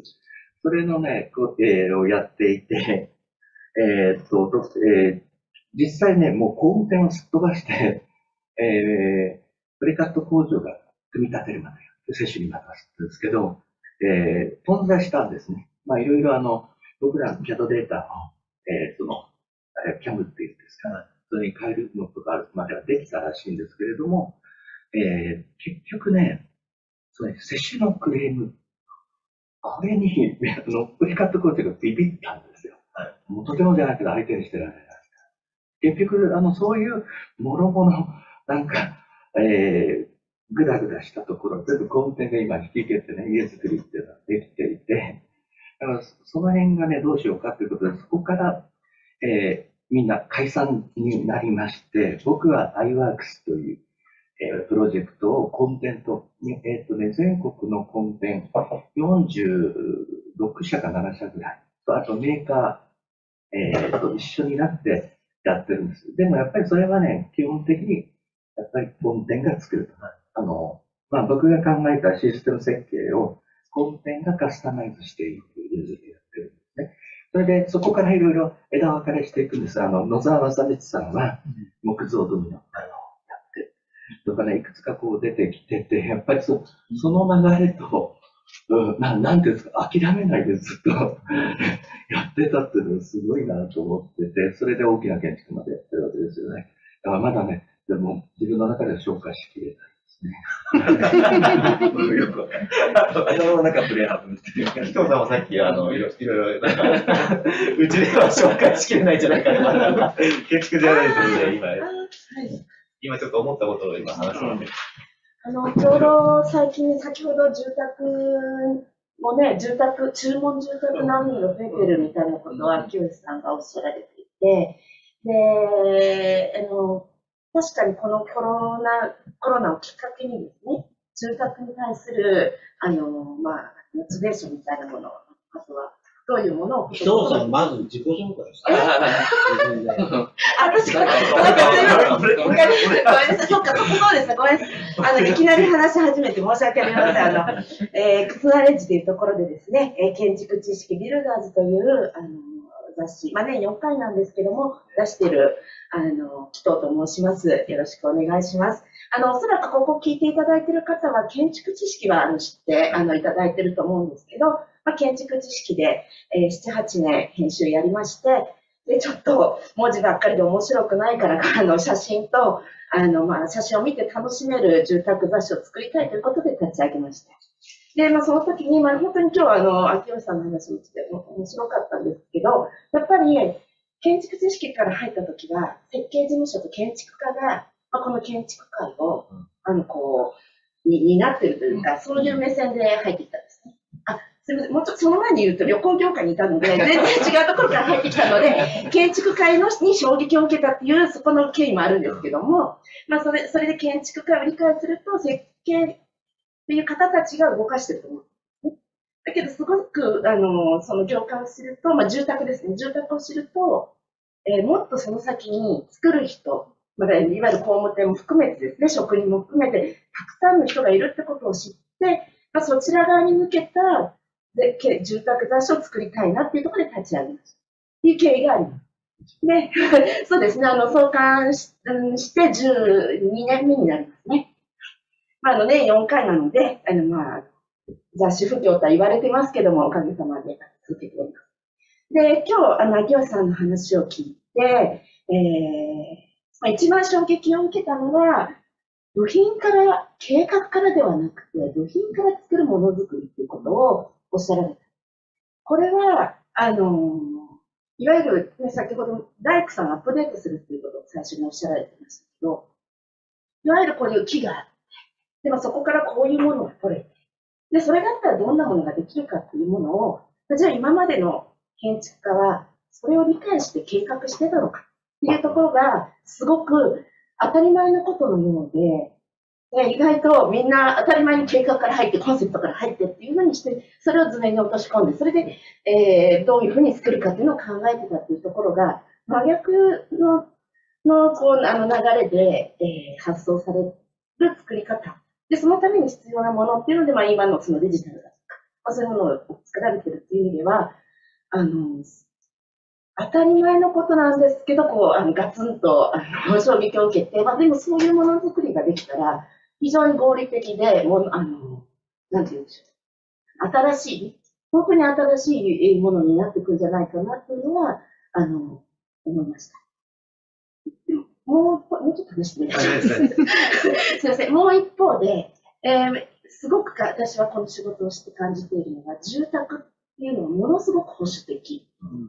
ものすごく、あその建築物や、そういうものによりももっともっと保守的で、ものすごいおせっさんも保守的。まあ、そうした中で、こういうものをどうやって取り入れて、まあ、現実して、まあ、実装させていくかって、まあ、今、ちょうどそこでいろいろなことをトライされてると思うんですけど、あのまあ、これが、あの、さっきの子供学校とか建築とか、そういうあのデータから作るような子たちが、大人に、まあ、あと10年くらいだと思うんですけども、なった時に初めて、ものすごく一般化してくるのかなっていうのは、あの、思いました。そういう意味で、うちの読者、まあ、工務店がメインなんですけども、の、まだ10年先も、この仕事を頑張るぞと思ってる人には、ちょっと聞いてもらっておいた方がいいなっていう、あの、そういうことも思いました。以上です。すいません、長々と。小笠原さんは、あの、多分あの、大学がアメリカとかで学んだと思うんですけど、具体的に、竹吉君っていうのは、あの、留学しないでデジタルアプリケーションとかやってる、僕初めて聞いた、聞いた方なんですよ。そのことについて、なんか、どどういう感情に抱きました？竹吉君活動。はい、えっ、と、東京電機大学小笠原です。えっ、と、秋安さんのね、あの活動っていうのはもうツイッターとかフェイスブックとか断片的にこう流れてくるんですけども、なかなかこう、最初から最後まで筋を通して伺うことができなかったので、今回非常に、あの、感銘を受けました。で、海外ではね、あの、いろいろこう、デジタルがちょっと普及しているという、まあ、先んじているところもあって、例えば専門工事業者さんは自分でどんどん工場を拡張して変わった形態を作るものを、まあ、サポートしたり、そして自分で提案していくような事業というのを起こされている中で、日本であまりなかったんじゃないかなと。そういうことをビルドがかなり頑張ってやられてるんじゃなというとことがすごい今印象的で、ようやく日本もそういうふうになってきたのかなと。同時にまたこれを、マークとかを、まあ、いろんな地方にこう、普及させて、子供たちの教育に使っているというのは、まあ、すごい、まあ、印象的でした。で、あの、なんか、秋吉さんの中ですごい今、プレゼンで面白かったのは、まあ、建築物、建築の生産自体を民主化していくっていう話があって、で、それをデジタルを使ってことが非常に、あの、やっぱり印象的なんですね。で、あのデジタルファブリケーションって往々にして、あの、いくつか、なんか誤解されがちなところもあったりとかするんですけども、まあ一般的には、例えば、あの、フォルマリスティックなものを作るためのデジタルということで、まあ最後の方にプレゼンされてあるもの、ああいうものがね、どうしても目立っちゃうので、まあそういうことしたいんでしょっていうふうに、まあ誤解されがちなのかなという気もするんですけども、実際あの、僕は Q さんの試みでかなり面白いと思ったのは、やっぱり住宅をどう普及させていくかっていうネスティングの業務かなと思うんですよね。で、えっ、と、そういった中で、あの僕はちょっとね、後でまあ伺ってみたかったのは、その、まあ、二つあって、一つは、あの、じゃあそうかといって消費者の方が実際に住宅を欲しいと言ったときに、多分、なんか人間のインターフェースっていうのが必要なんじゃないかな。多分、秋吉さんは打ち合わせをされたりして、秋吉さんの、まあ、ビルドの工場とかでこう作っていくようなものを組み立てられたっていうのもいいんですよね。で、それ、あの、ゼロから、あの、アプリで消費者がこんな建物が欲しいっていうのはなかなか、なんか、欲しいのがわからないんじゃないのかなっていう、それがまあ設計者の職能の一つなのかなっていうことを、はいまあ、一つ思ったんですよね。で、いうことが、というところをどういうふうにまあ、これから実装されていくのかなっていうことは、ちょっと一個思ったこと。あともう一個は、そうかといって、もう一つは、どんどんどんどん、その、自分の工場の中に、じゃあ、板金屋さんを入れてとか、いろんなあの職人さんを入れて、まあ、パッケージして送り出していくっていうことは、まあ、一つのハウスメーカーを作ってるような気もするんですよね。で、そういった意味では、あの、逆に、あの、開くというよりは、あの、ビルドの中に囲い込んでるような感じにもなんか見えてくるんですけども、そこら辺はどういうふうにお考えなのかなっていうのは、聞いてみたいっていうのは、二つ思いました。はい。まあ、一つ目ね。一つ目は、あの、アプリ作っていうのは、去年の5月段階で、えー仮説を出したっていうか、仮説を市場に投げかけた。そうすると、やっぱりユーザーの反応が得られる。で、それでやっぱり分かったのは、その、むしろ自分の理想の家を作りたいけれども、それを自分であのアプリいじってやりたいとか、自分で施工したいわけだところは、まああったんですけど、とはいえ、やっぱりその、建築家ってやっぱめんどくさいし、あの、金額もよくわからないから、やりづらいんだけど、やっぱそのリアルに、じゃこれこうするといくらになるのとかっていうのが、やっぱちょっと、特に1棟目立てて2棟目っていう人が意外と多くて、1棟目でなんでこんな苦労したんだっていう人ほど、なんか分かってくれたわけで、そういう意味で言うと、システムとして僕、アプラを操作するっていうのは、裏側で、義務的に使って、それをお客さんと同じこの画面見ながら、通常は、例えばその、この図面をこういうふうに変えたら、えいくらになるのか、じゃあ1ヶ月後またこの世界見てくるの待ってください。みたいなやり取りが、この場で対話しながら、こうするとこういう金額になって、こういうメリット、デメリットがあるんで、どうですかっていう対話をしながらできるインターフェースになって、まあ、そういうコミュニケーションを活性化するなんかシステムみたいな形で今使おうとしてて、なんで、まあ、設計をワークショップ化するための、そのカンフル剤ってすごい、活性化するものとしてシステムを使うっていう。でやっぱそのコミュニケーションコストがいかに下がるか。で、下がりながら自分のカスタマイズ性どこまで上げていって、本当に理想を追求できるかっていうのは結構重要、重要っていうか、まあ、だから中間住宅なんて言ってるのは、その、既製品でも我慢できないし、注文住宅で実際誰かに頼むっていう嫌だっていう人にとっては結構その、スイートスポットっていうか、すごい、あの、求められていた。それはやっぱ仮説投げかけてみないと分かんなかったと思うんですけども、まあそういうふうになんか、まあ、軌道修正どんどんしていくっていう、まあ、軌道修正しながら作っていくっていうのはまさにものづくりの本質だと思って、サービス自体もそういうふうになんか、プロトタイピングしていくっていう感覚で、どんどんどんどんプデートしていくです。で、二つ目が、えっ、と、あ、か囲い込んでるかどうかみそれぞれ今、その、施工パートナーとか土地のエリア開拓みたいなのやってるのは、まあ囲い込んでるというよりは、その、昔それこそこの本の中でも、大野勝彦さんの話をする。やっぱ、地域、地域の中でのできている、その、ネットワーク、その材料供給のあり方とか、どういう職員さんがいるのかっていうのに、ある程度、それこそ今、沖縄で例えばやってますけども、あの、まさにイベさんとか書かれてる本とか見ながら、その、なんでしょう、その地域にどういう人たちがコンテンツがいて、それぞれに単単価としてどういうものになってるのか、流通構造がどうなってるのかって、広報も。で、実際そのネスティングの広報は、外見は同じように見えて、素人には外見は同じように見えるんですけど、中身の構造体って、全然その種類が違うっていうか、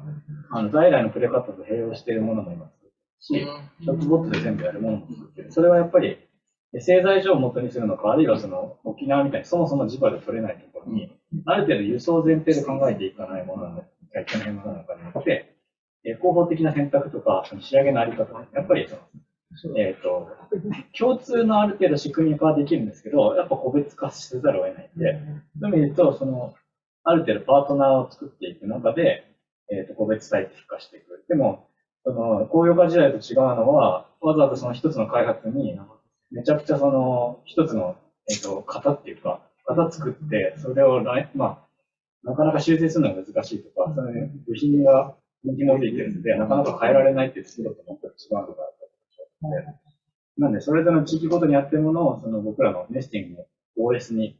還元していくのと、OS からその、例えば石垣島とかさっき、えっ、と、秋田でやってる雪国の場合、あとどうなのかっていうのを、まあそれぞれ個別会を出してるんですけど、やっぱそれはその職人さんとか、地域のその大学、まあ、特に、まあ、あの、秋田の場合とか、丸太の調達からやるんで、丸太の直径に対してどういうものが一番その経済合理性という度になって、ちゃんと川上に利益が落ちる構造になるのかっていうことを考えながら、まあ、候補をそれぞれ選択して作っていく。そういう最初の初期条件を入力するところを、まさに現場の人たち、職人さんとか、そもそもそのシニアだと知ってる作り手と一緒に作っていくのがいいなと思っているので、なんで、まあ、施工パートナーを募集してるっていうのは、単純に、あの、ボランタリーチェーンとかフラフランチャイズみたいな形で、僕らが作ったものを作ってくださいっていう一方的なものじゃなくて、そしてボトムアップ型で、その地場工務店が持ってるノウハウを持って、でそこに僕らの技術で解き合わせると、どんなことが起きるのかっていうのを地域ごとに聞きたいので、大体そういうことに付き合ってくれる人っていうのは、あの、本当にその先端的な人なんで、でもまあそういう人たちと一緒にそういう、ユーザーもそうですし、この点もやっぱイノベーターから始めないと変化って起きないんで、イノベーターにでもそうやって出会うためには、ちゃんとそのビジョンを掲げることが重要で、まあ山奥のさっきの、まあロエリットの家でもインターネットを使ってないようなおじさんが、これしかないでしょって言ってもソフトでその場で機械買って、一緒にやってくれたような人もいんで、そういうふうになんかどっかで通じる人ってやっぱり、まあそういう人たちとトップダウンじゃなくて一緒にまあ作っていくっていうのは一応理想には掲げてます。あ、ありがとうございます。あの、ちょっと今、ちょっと質疑が結構多く上がってるんですけど、あの、なんか、南波先生から、あの、メタアーキテクトを読んで、設備に対するのちょっと質疑が上がってたんですけど、ちょっと質問に答えてもらってもいいでしょうか？質問に答えてもらってか、はい、質問していただいていいでしょうか？すいません、答えていただいていいじゃないですか。答え答えは南部先生持ってるかもしれないけど。南波先生、今いかがでしょうか？はい、あの、えービデオも全部ミュート。背景がすごい。背景が、背景が超どこにいるんだろうすごい背景。はい、秋吉さんどうも、あのー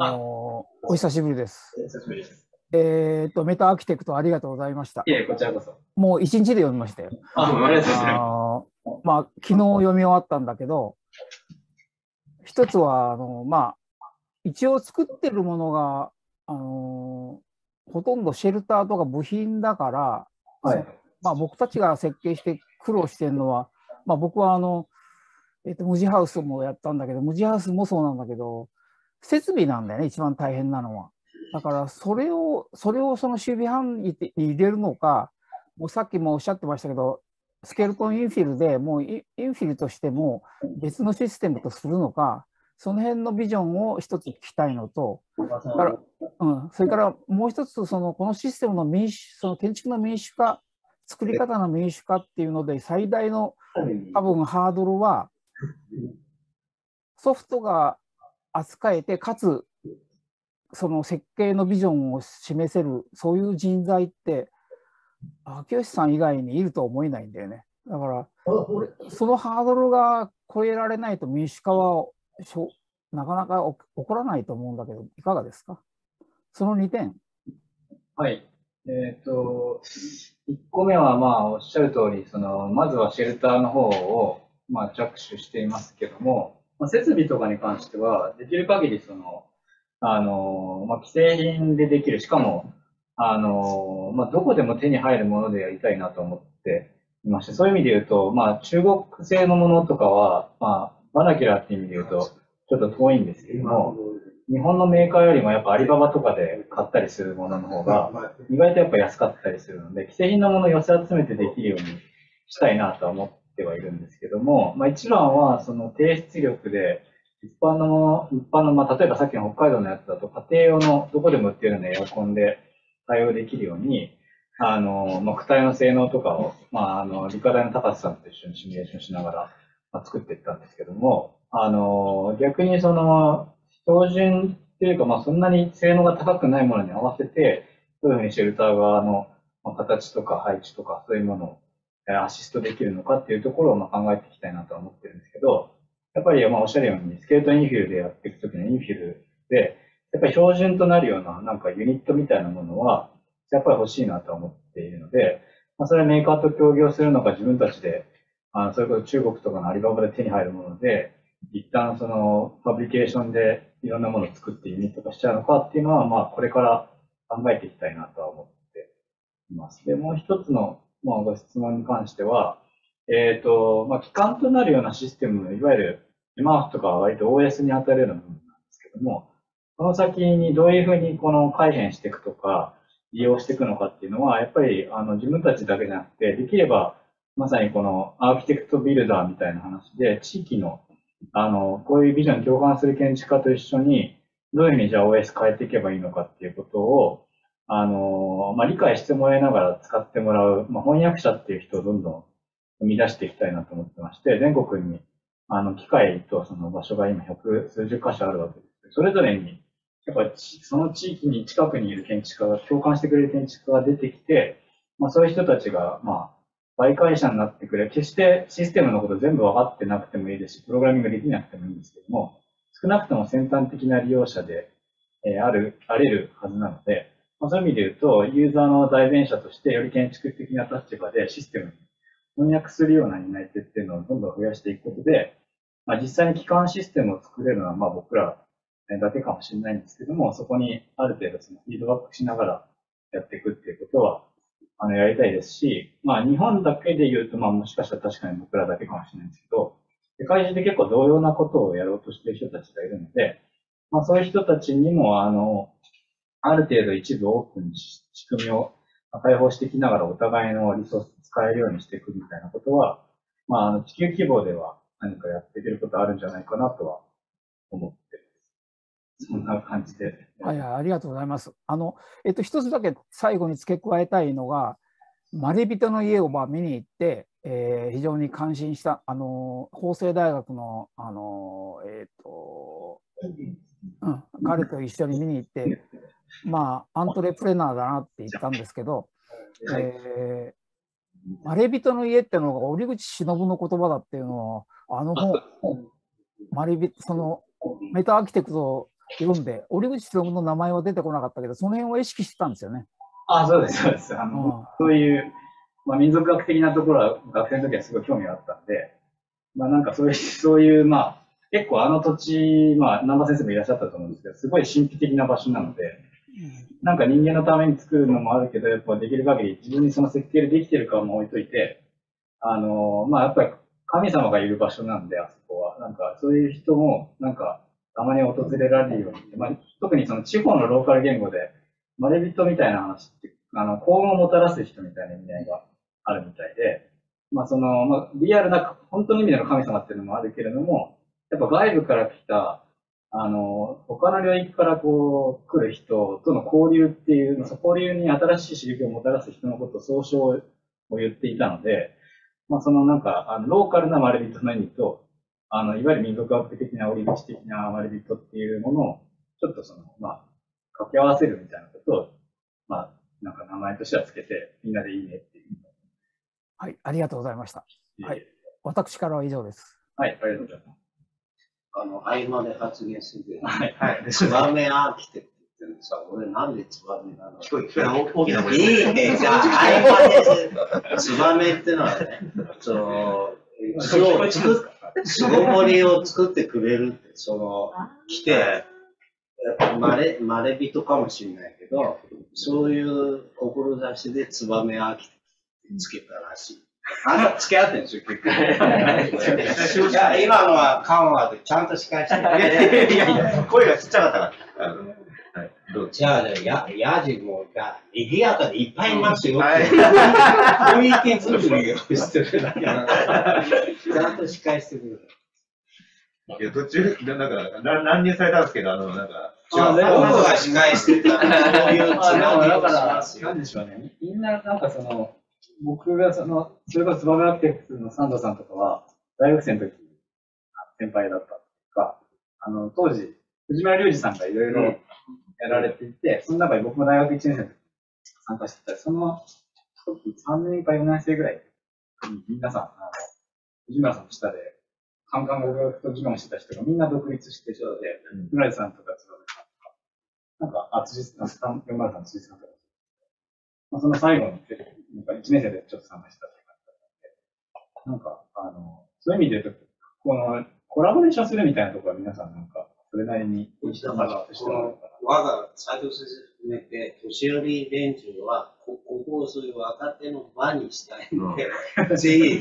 あの、えーいっぱい呼んできて、みんな忙しいから、あれだけど、ぜひ、つなげてほしいという。あじゃあそれは4回目の人を推薦したらいい。そうそうそうそうそうそれはじゃあ、4回行きますけど、まあ、はい、推薦してもらえるではそういうあとは、あの、あ安藤先生とかも、あの、今、久野さんから、まあ、外外野で乱入とかありましたけど、今、あの、今のこの座談会とか、あの、プレゼンの話聞いて思ったこととか。企画者企画者だし。はい、ぜひ。なんか、最初のイメージとまた変わったとか、そういうのもあれば。いや、ないんですよね。あの私、あの、もう少し、あの、レスティングとか MRF に関してね、あの、議論を続けてほしいなというふうに、あの、思いますけど、この後してくださいね。ああの、私はちょっとそれは離れて、あの、秋代さんに本当に関心した注目してるっていう、ね、あの、小笠原先生もおっしゃったけど、あなたもおっしゃったけどね、あの、留学した人がね、こういうことを始めるんだろうわかる。だけど、あの、なんていうのかな。日本でこういうこと始まるの大変難しいっていうか、最初の起動するのにものすごくエネルギーのいる話だったんですね。で、あの、外国に行ってみてると、あの、なんて言うんだろう。あの、ある、その時代の可能性、例えば、あの、デジタルのファブリケーションにつながってもいいんだけど、そういうものの可能性を見た人たちが自然につながっていくんですね。うん、そしてそのエコシステムっていう言葉がありますよね。うん、国や専門を超えてどんどんそのつながって増殖をしていく。で、あの、欧米の大学はそういうエコシステムが存在してて、で、あの、つながっていて、なんか面白そうなことを思って、で、日本では起こらない。起こっていないね、ほぼね。で、そんな中で、あの、なんて言うんだろう。まあ、イギリスなんかで言うと、あの、例えばこういうデジタルファブリケーションみたいなものが、もう国策になってて、ビームと一緒で。で、今は、あの、DFMA っていう、建築だけじゃないですけれども、デザイン for Manufacture and Assembly っていうのが大流行りになってるんですよね。で、行き着くところは、あの、ユニット化ですね。モジュラー建築ですよね。で、これを大真面目にみんなやってると。我が国は、あの、50年前にプレハブを始めましたけど、今やプレハブの努力なんて誰もしてなくて、あの、陳腐化してってるっていう状況ですよね。こういうことに、あの、非常に私は、あの、日本の、なんていうんだろう、デジタル音痴っていう言葉にはデジタルを知れっていう意味じゃなくて、あの、面白いものが、あの、つながって増殖していくエコシステム、世界のエコシステムから取り残されてるっていう感じがしたもんですから、そこに、あの、えー、っと、秋吉さんのね、あの、活動に、非常にその、なんていうか、注目したいと思ってるんですね。で、ご自分では、あの、私の今言ったようなことに、どんなふうに、あの、感じておられますか、ちょっとお考えがあればね、聞かせてください。えー、そうですね。まさに私は留学もしてないですし、そもそも英語も喋れないんですけども、さっきの海外の建築家のインタビューシリーズとかも、全部その海外の本を、えっ、ー、と、Google 君が写真撮ると文字に変えてくれて、ディープウェル君がそれを英語に変えてくれるっていう、あのもうこんないい時代ないですよね。それで基本的にはもう海外の人が何を喋ってるのかがわかる。で逆に言うとその自分の喋りたいことも、えっ、ー、と、まあ何でしょう。特に僕ら会社にその英語喋る人がいっぱいいるんで、通訳してもらうとか、やれば、で自分で喋りたくても、あの、日知できるっていう、こんな時代だなと思うんですけども、特にですね、インターネット上を見れば、繋がれるし、まあ、実際にあと一番大きいのは、あの僕、大学院の時に、その、まあ、あの、指導教員が田中宏也さんだったんですけど、まあ、建築学科じゃないんですけども、やっぱりその、学位取る上で、で彼が、まあ、僕ら学生に課してることとしては、海外の学会を英語でちゃんと発表しなさいって。ことだったんで、えっ、ー、と、一応大学院の時にやってたことは発表しに行ってたんで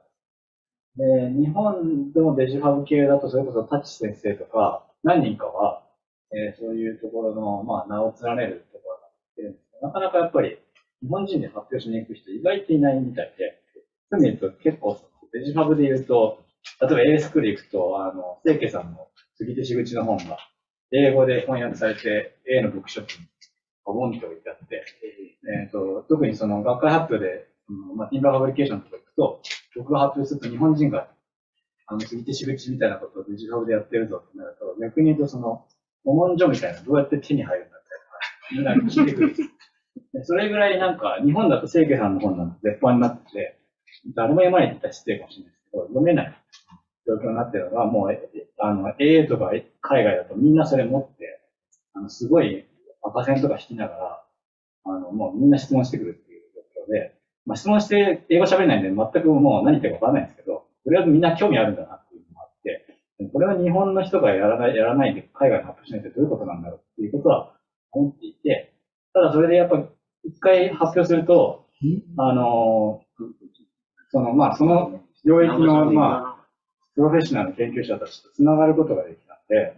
まあ、彼らとメールでやり取りするから、まあ、継続的にコミュニケーションするっていうのも、一応やってきてはいたので、まあ、自分で留学したりとかしなくても、例えば、同時期にまあ同期とかは、例えばその、そういう人たちの下で研究室で働いて、あの研究指導を受けたりするんですけど、やっぱり一方で僕が客観的に見てる弊害だなって思うのは、その研究領域の中の一部をやって帰ってくる。ね、まあちょっとその失礼かもしれないけど、全体性を見てないんじゃないかなというのは、先輩とかいろいろ見てて思ってたんで、それよりは自分で、特にそういう人たちいろいろ聞いてると、ロボットアームの一回しか喋触ったこと、触れなかったとか、なんか上の人たちがいっぱいいたから、全然できなかったみたいな話とかあって、それよりは自分でロボットアーム買った方が、はるかになんか研究できると思っていて、そういう意味で自分でそのラボを持って、えー、やって、それを持って発表して一人前の同率な研究者というか、あるいは経営者として発表した方が、まあ、はるかになんか学びが多いんじゃないかと思ったし、そうすることで初めて対等にいろんなプロフェッサーがちゃんと流行らせてくれるんで、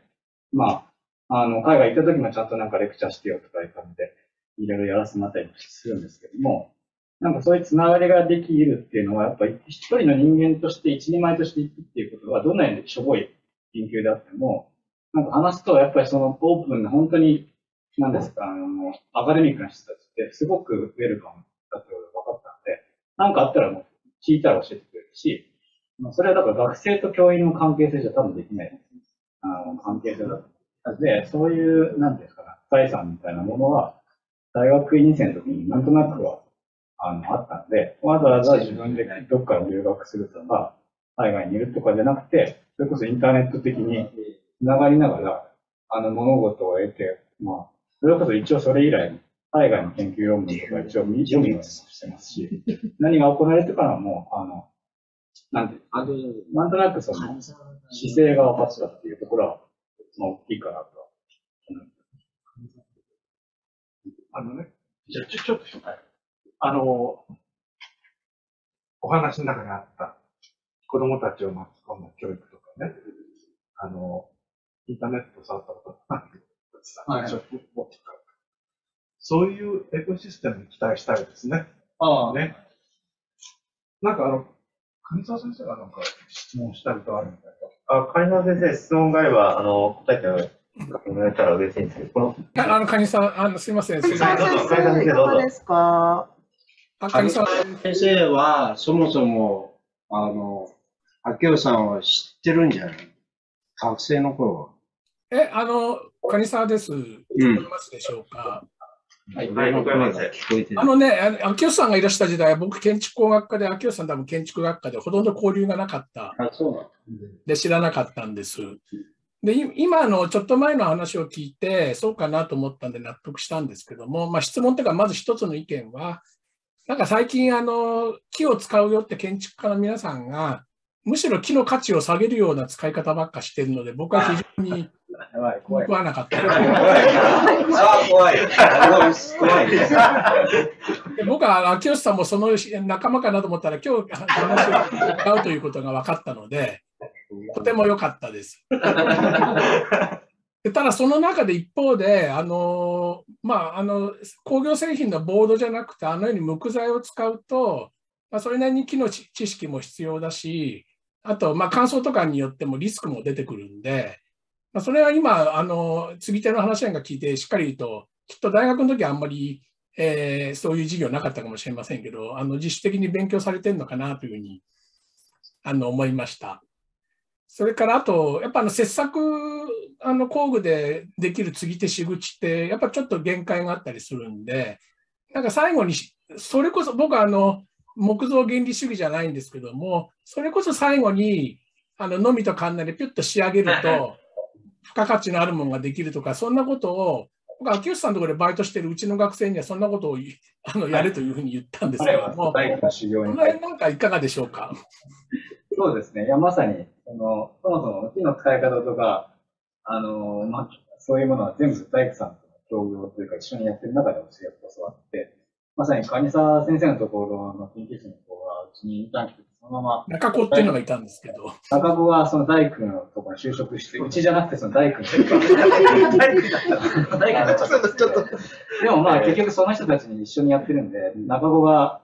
まあ、いくつか今日お話ししたやつの中では、組み立て大工として戻ってきてやってたりするんですけど、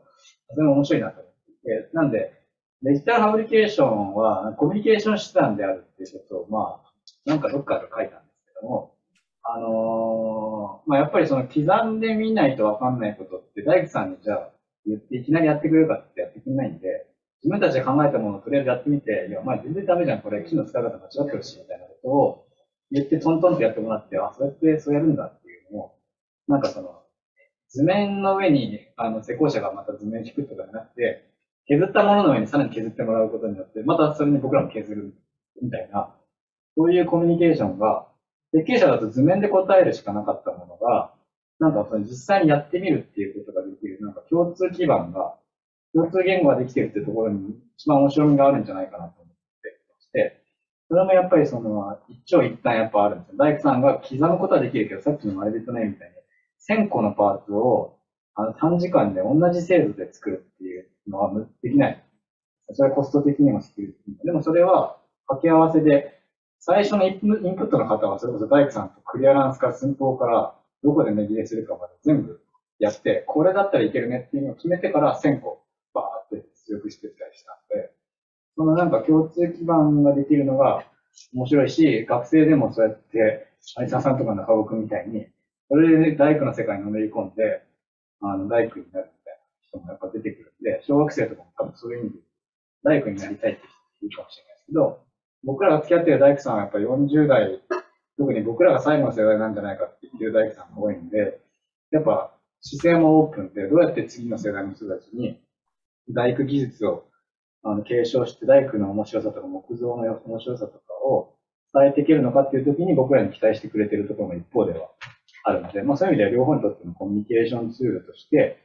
あの設計者とか大学生とか小学生とかは、まあ、あの、木の使い方も、まあミリングなんで、実際邪道っちゃ邪道なんですけども、あの、まあ、削ってとはいえ木を、同じ木を使うという意味で言うと、共通基盤に片足突っ込むことができるので、まあ、その片足突っ込んだところに大工さんは、あの、その自分の価値も伝えればいいし、僕らとしてはそこから学ぶっていう、なんかそういう結節点になるのが面白いなと。あの、ありがとうございます。僕、あ僕あの、なんか今授業でもう椅子作ってんのやられてるなっていうのは直接見てなかったんですけども、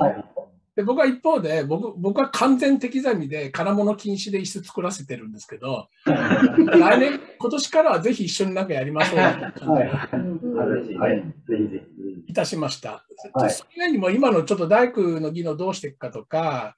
いろいろちょっと直接議論したいこともあるので、あ、ぜひぜひ。そのその近い近いうちにちょっとよろしくお願いします。はい、ぜひよろしくお願いし今日はあの本当にいい機会でした。あのこれありがとうございました。ます。はい、ありがとうございました。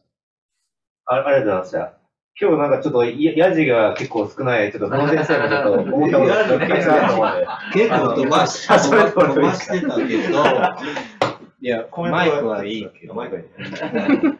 マイクが聞こえないんじゃないですか。いや、多分入るかちょっと待ってあ有吉君えーとですね、実は、あの、勝樹君の司会が心配で、親父みたいなので、今日は今のところうまくいってる。そこそこ。あの、今日、あの、これ映ってると思いますけど、これ2冊目の、これはすごい本です。あの、熟読しましたけど、マジですか？あの、まず本作りとして、結構、あの、仕組んであります。それで、なんか、アマゾンでも結構売り上げすごいらしいけど、ぜひみ皆さんにあの読んでほしいんですけど、あの、僕が明夫さんに会ったのは、あれ、門脇さんの資格そうでかな、すね。建築雑誌でいきなり対談しろって言って、対談したんです。1ページだ、2ページだ。2ページで、僕がそのその時にほとんど会社作ったばっかりなんですよそうなんですよ。それで、5年前とかね。そう、それの、すごい、この4年間の、よく前持ってて、これ、これ宣伝です。4年間の仕事が、僕が思ってる、すごい展開になってて、ここの本読んで分かりました。それで、いや、実は初対面の時に、あの、アケルさんは、年商15億だっつって。僕は、どぎも、どぎも抜かれて、俺は、俺は文教やってた、50冊やってたぞって言って、対談をしたんです。その解説者が門脇さんだったんだけど、お前すごいことやってんなって言って、それで、えーっとね、その多分門脇さんの仕掛けがいいんだけど、そういうこと考えてたよ。ずっと。って言って、えだからまずショップボットを売売ってると。まずそれいいなと思って。あの、軍家やってた初期はね、石山がスーパーフォー部材をあの使って、このおもちゃを作ってそれを販売すると。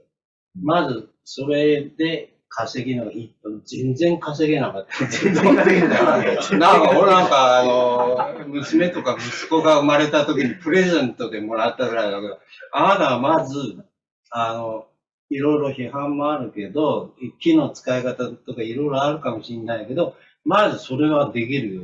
あの、僕ちゃんと熟読してますから、あの、村橋君と組んで、木賃の内装を変えるときに一番いいじゃないですか。そその場でやってって。まずリリノベーションやったりするときに、い一個あれば。じゃあ可能性感じて、これ抑制的に書いてますから、まず家具から始めたとか言ってるけど、この本よく読むと、あの、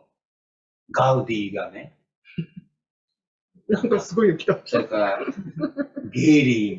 ーの映画見たとこから始まって、芝浦入ってがっかりした。あの、建築家教育にがっかりしたとかね、これは本ね、これはね、これは歴史に残る本ですので、絶対読ん読んだ方がいいです。それから、本の仕掛けとして、時間あるのかな？いや 大丈夫ですあちゃんと司会して、はい大丈夫このね、本はね、二部構成になって、こういう本を作りたかったんだけど、右け右ページと左ページとあるんだけど、これを作ったのが、10プラス1やってた、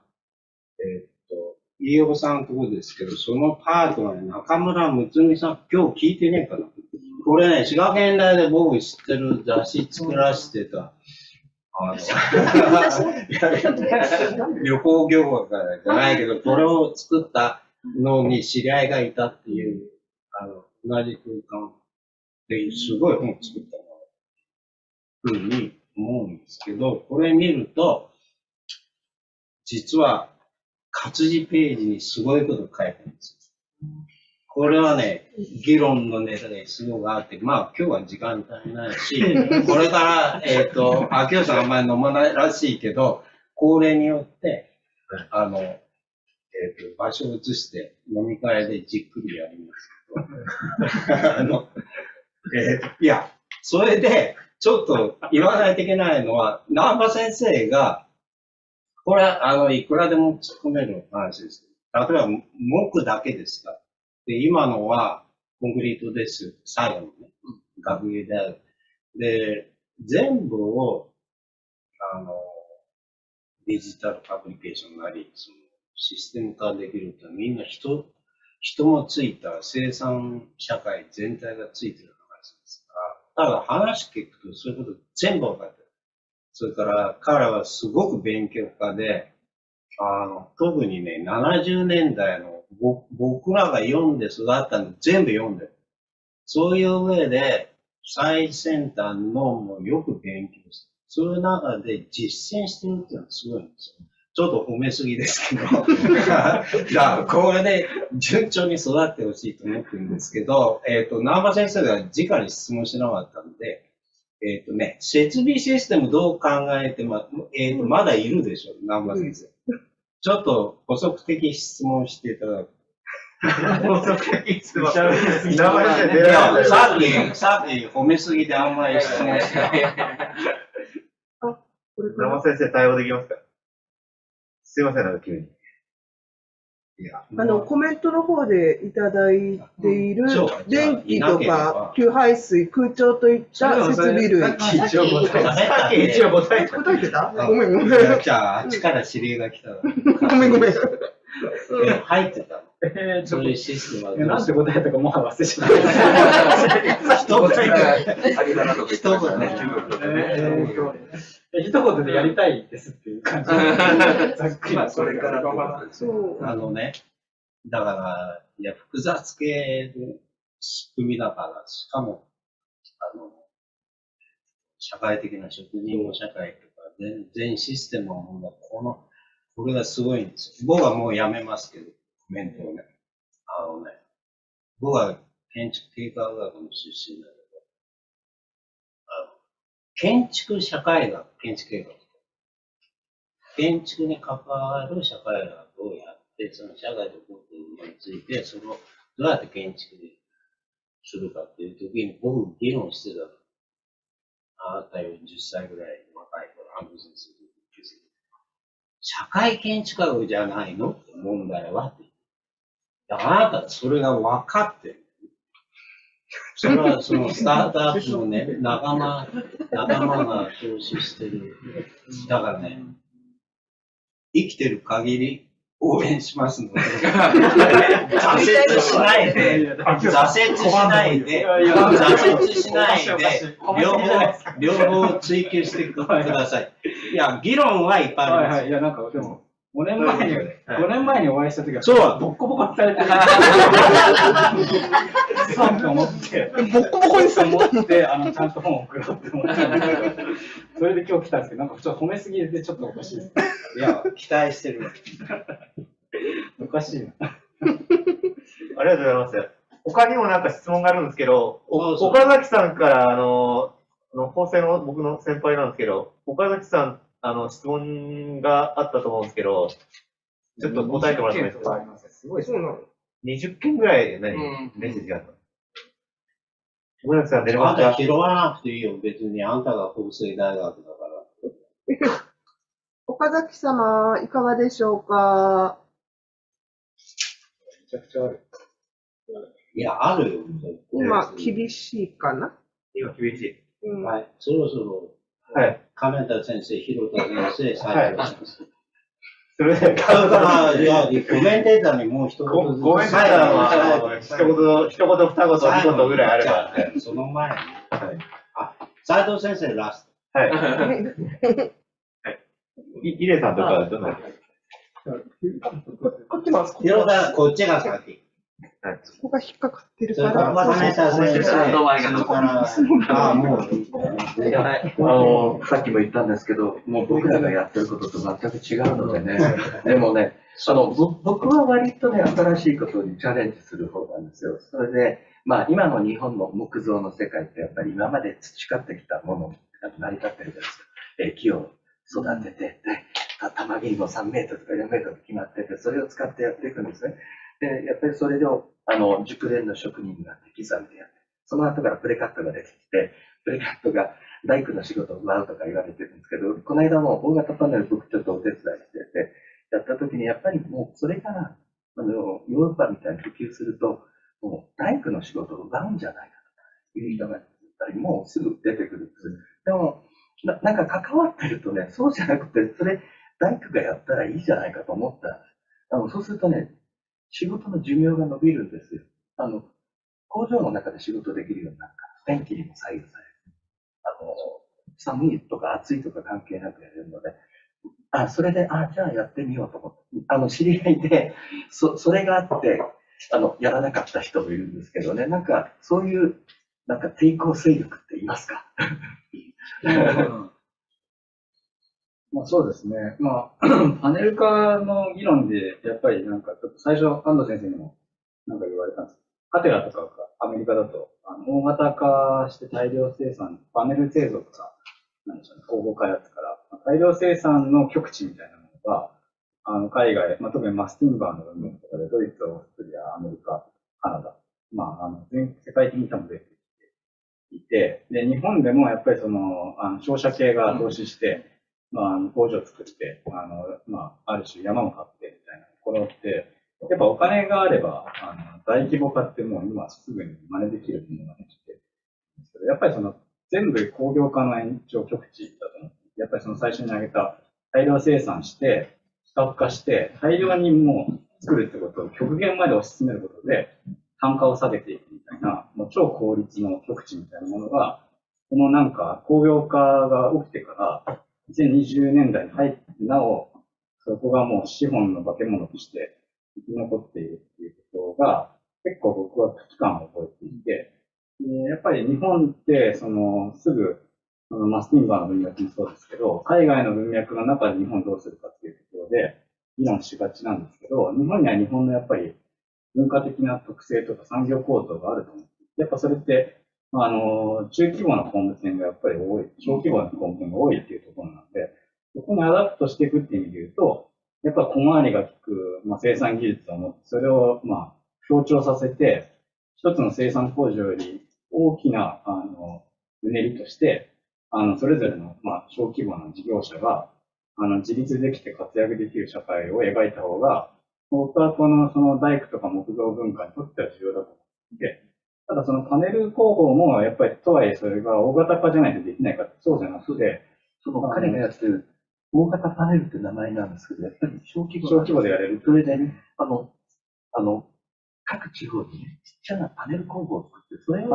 大工とか建具屋さんとかがやっていけばいいんじゃないかなと思ってて。それを一致する。うん、そうですね。あの、そこが。彼がやってるのは重ね、すごく、なんか似てる感じがしてて、最初はね、狂ってるかなと思ったんですけど、いろいろ聞いたらね、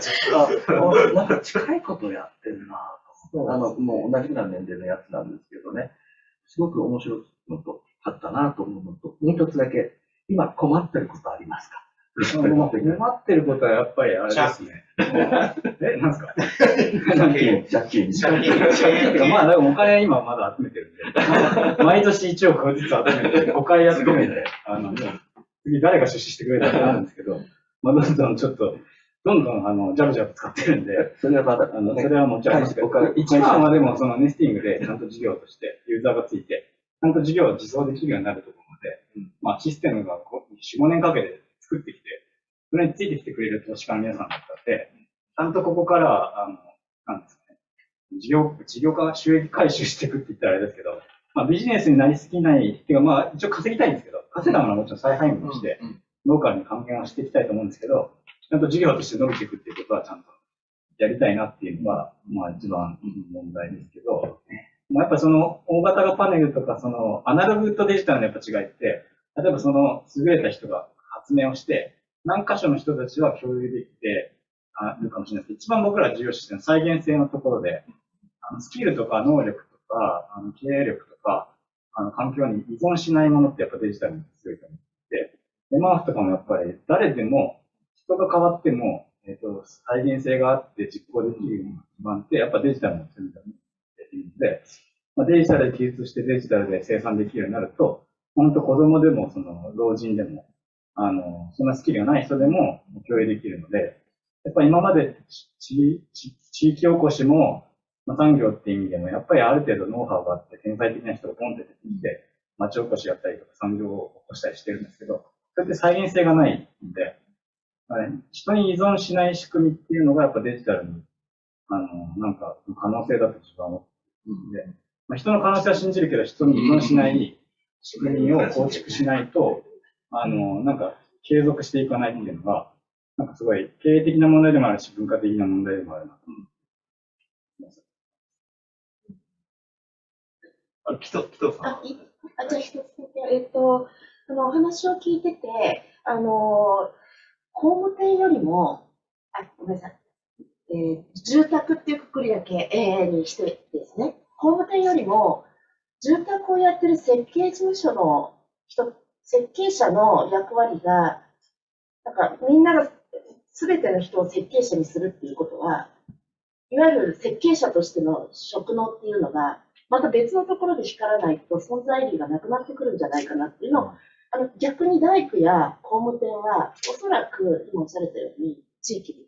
根付いてるとか、まあ、いろんなあのやりようっていうのがまだまだあると思うんですけども、意外とこういうシステムがこう普及したときに、みんながある程度できる。で、なんかこう法規チェックだとか、まあ、先ほどちょっと聞いた構造とか安全性みたいなものっていうのは、まあ、ある程度住宅規模であれば、えーほとんど多分デジタルでで、設計者が先ほどあの、アーキテクトとしての秋吉さんがやられた、ああいうちょっとね、造形的なものとかを作っていくっていうところでは建築家としての、あの、の能力というか発想とか、まあそういうものは生きてくるんでしょうけども、住宅レベルで言うと、お話を聞いてると、もしかして、いらない？なんていうのをちょっと 感じたりして、さっき、え？素晴らしい。なんか、なんか工程が、あの、大工よりも、やばいんじゃないの？みたいな、まあ、ちょっとあの、囲い込みみたいなこともおっしゃられてましたけど。あの、そこは、あの、どう、どうかが、ね、みんな秋吉さんに頼めばいいじゃんみたいになっちゃったら、どうなるっていう。いいはい。お願いします。全ての人の設計者にするためには、設計者自身が職能を変えて、サポートに入らなきゃいけないというところが、まあ、逆の意味合いでもあって、アーキテクト・アザ・サービスって、まあ、ああいう言葉よく知ってる。まあ、僕もよく知ってる。まあ、ずっと何回言ってるでもみんなに聞こえるよ。あ、まあじゃ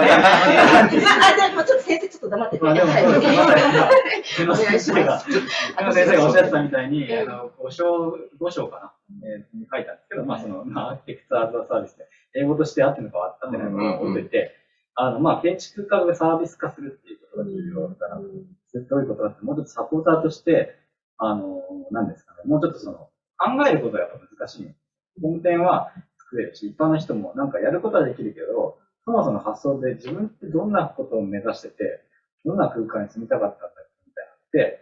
あの、やっぱ学生が素人で建築家のそのエスキスによって成長するのと同じで、やっぱりそのなんか、あの学生にエスキスする感覚で、あの、一般の人の、その、住まいのビジョンからそれを形作る。まあ、それが例えばアプリっていうインターフェースだったとしても、それを考えるのって結構難しいんで、あのその、なんか、あの並走者になるべきだっていうことを、まあ、言っているので、一人の人に対して一軒の住宅で全然儲かんないやって時間費やしてるよりは、同じ時間で、同じ金額で10人分やれる可能性もあって、そうすると、まあ自分のこれだっていう仕事は、もちろん設計者としてやればいいと思うんですけど、それ以外のなんか、ビジネスモデルとして、あのメタアーキテクト、メタデザイナーとして、その、一般の人のデザインをサポートするっていうことをやれば、まあそれでそれで一つのなんか収益源にもなるし、その専門性を発揮する領域だし、その方がむしろその、フィールド、自分が設計し、まあ、ある意味では設計してると言えるんですよ。なんかその導いてるわけなんで、ディレクションしてるわけだから、そういうなんか自分で自分の範囲で全部ず形作って決定するっていうのと、10%ずつ自分の意思が入っているものが10個同時に進んでるんだけど、まあある種同じなんで、そういうなんか、どっちもやること結構重要なんじゃないかなって。設計だけで儲かんないとかっていうよりは、そのもう少し逆に言うとその同じ設計って言っても、違うあり方を考えていくっていうのも、まあ一つあるんじゃないでしょうかっていうことを、まあ、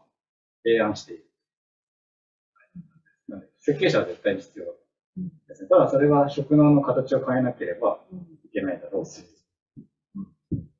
あの今お話を伺ってて非常にまあその通りだなと思ってて、あのなんだろう研究とかでも設計者の職能みたいなとこちょっといろいろリサーチしたりしてたんですけども、あのまさにその徐々にその設計者がもう設計をするっていうことはそもそも何なのかっていうのを突き詰めていくと、おそらく発注者っていうんですかね、あの、世襲の、まあ、意図を汲み取って具現化していくことが多分設計者の役割であって、そのためにはデジタルツールを、先ほどね、おっしゃってましたけども、あの、デジタルファブリケーション、コミュニケーションツールであるっていう言葉は僕すごいいいなと思っていて、で、そういうものを多分、なんだろう体得できてない設計者、自然に淘汰されてしまうような職能変化っていうのが今、あの、秋吉さんのやられてることを見て、非常にあの感じたんです。で多分これから10代、20代、30代の若手の設計者には特にそういうのは強く大きく出てくるのかななんて思って、伺ってました。感想です。まああとはやっぱ設計者に一番重要なのは、接種の考え方を汲み取る以上のことを提案しなきゃいけないと思っていて、やっぱり僕ら広報的なテンプレートは自分たちでベースとなる OS は作るんですけど、例えばさっきの沖縄とかいろんな秋田とかっていう時に、やっぱりその接種だけが考えていくと、やっぱりその調和っていうか、あの周辺の文化とか、あるいは景観みたいなものと、なかなか、あの、そこまでやっぱ目が及ばないだろう。それこそ、そういうことをおっしゃってた工業化時代の建築家の役割みたいな中で、内田先生もあ文章を引用してるんですけども、なんかそういう、やっぱり専門家にしか見えない立ち位置をちゃんとその世襲というか、建主に伝えていくっていう作業は重要で、その伝え方はもちろんその決まったフォーマットの中でどう、えー、変形させていくかっていうところに変装するし、そのフォーマットをいかに、あのまあ、再定義するのかっていうところに関わり続けるのが結構重要だなと思います。あありがとうございます。あの、なんか、久野先生から送られた、平田先生、あの、あ、そうです司会であ秋吉先生、今日はどうもありがとうございます。はい。向こう側回ってえっと、どっちこっちはいはい。前、すい。ません。あの、今日のお話を伺ってて、えー自分はもう全くえーオールドタイプの人間だということで、引導を渡されていただいたんですけどもあの、教育、建築教育に携わるものとして、えー授業は考える材料を学生に出すああと思っています。で、早速、再来週から授業、建築計画の授業始まるもんですから、あの、秋吉さんのことを授業で紹介して、こんな活動をしてるという建築計画の可能性をお伝えしたいと思います。で、一点だけ質問です。えー建築教育から学んで、今役立ってるところがあったら、あの学生のみんなに聞いてると思いますので。あ役立ってるいやでもやっぱりその業界の外、特に IT 系の会社とか、どこ行ってもやっぱ建築の人って活躍してますね。それは理由としてはやっぱり重宝されるのはもう他の人もよく言うことですけど、全部構想から実装まで一通りやれるっていうことなので、それってやっぱり重要で、特にそのアーキテクトってやっぱりまあ IT の世界でも結局そのプログラマーとかも、えーウェブのフロントって見えるところでやってる人もいデータベース作ってる人も様々な、それってほとんど建築なんで、その部分を統合して、じゃあその間に意味を作って、物語とかあるいは全体に統合するにはどうすればいいかって、やっぱり建築的思考の本質的なところだと思うので、まあそれはやっぱどこ、地域行っても、隣町と隣町の間で共通する構造が何で、でその上でこれとこれ繋いでれば何が生まれるかっていう思考って、通常の多分、その専門教育、あるいはまあ、まあ、文系で言うとちょっとなかなかその、なんかちょっといい時代が出てくるんですけど、なかなかその全体像を考えて、統合する、構想するっていうところって、教育として多分受けてないとできないんじゃないかと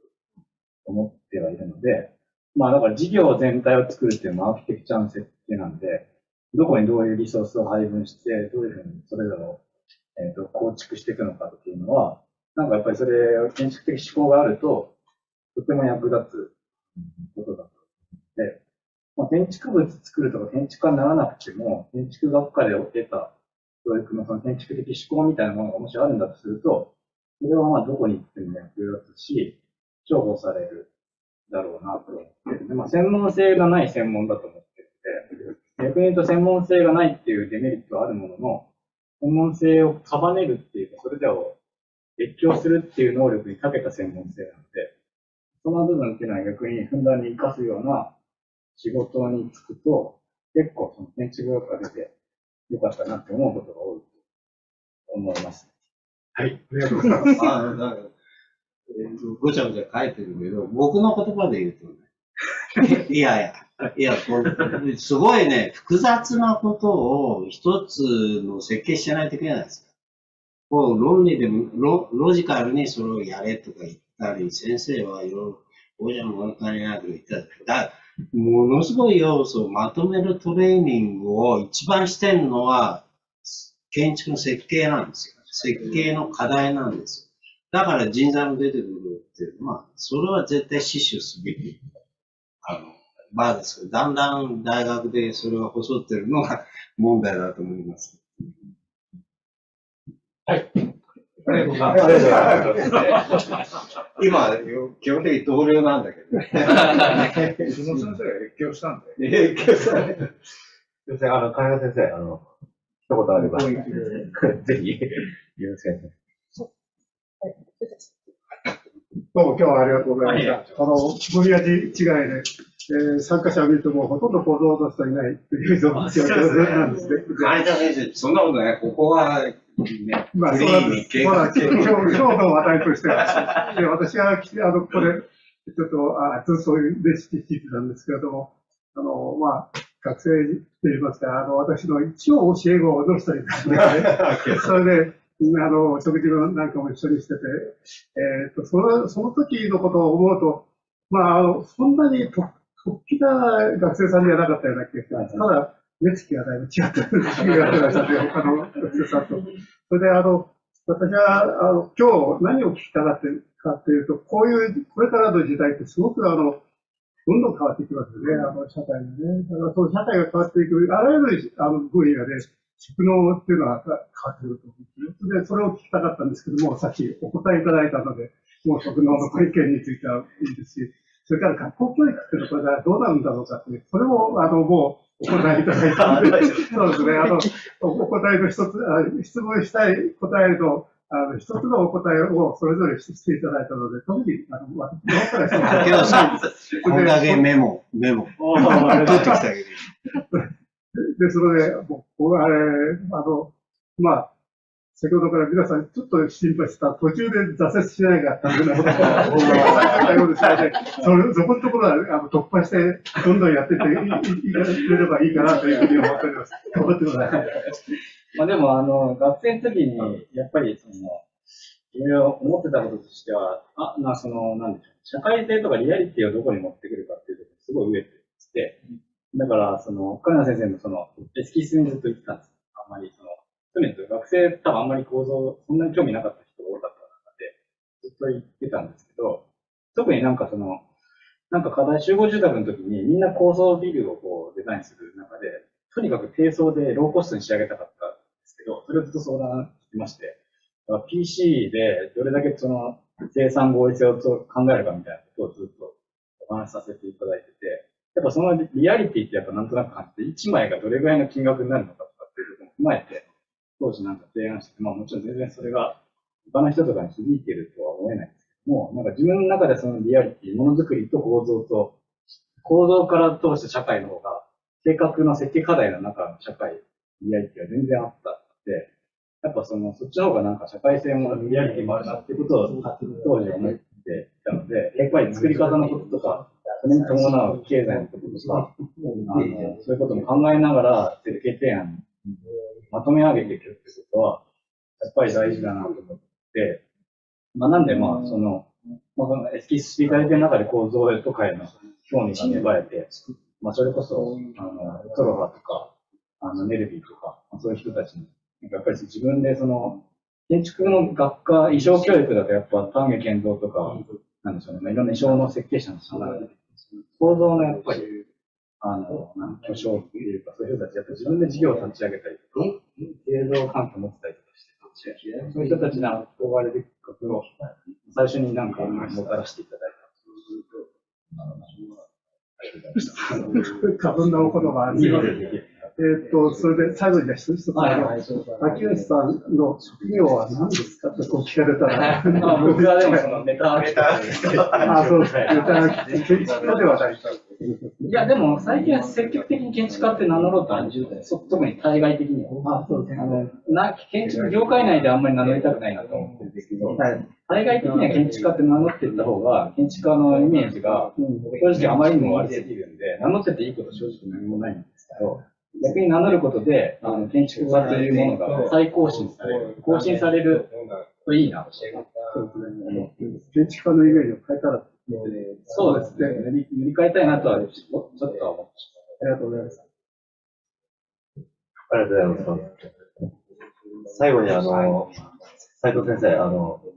今日の話を聞いて、といえ、思ってることがあれば、ぜひよろしくお願いします。紹介してください。これいいよ。これいいよ。はい、大丈夫です。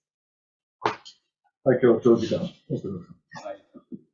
えーっと、先ほど冒頭に言いましたように、たまたまっていうんでしょうかね、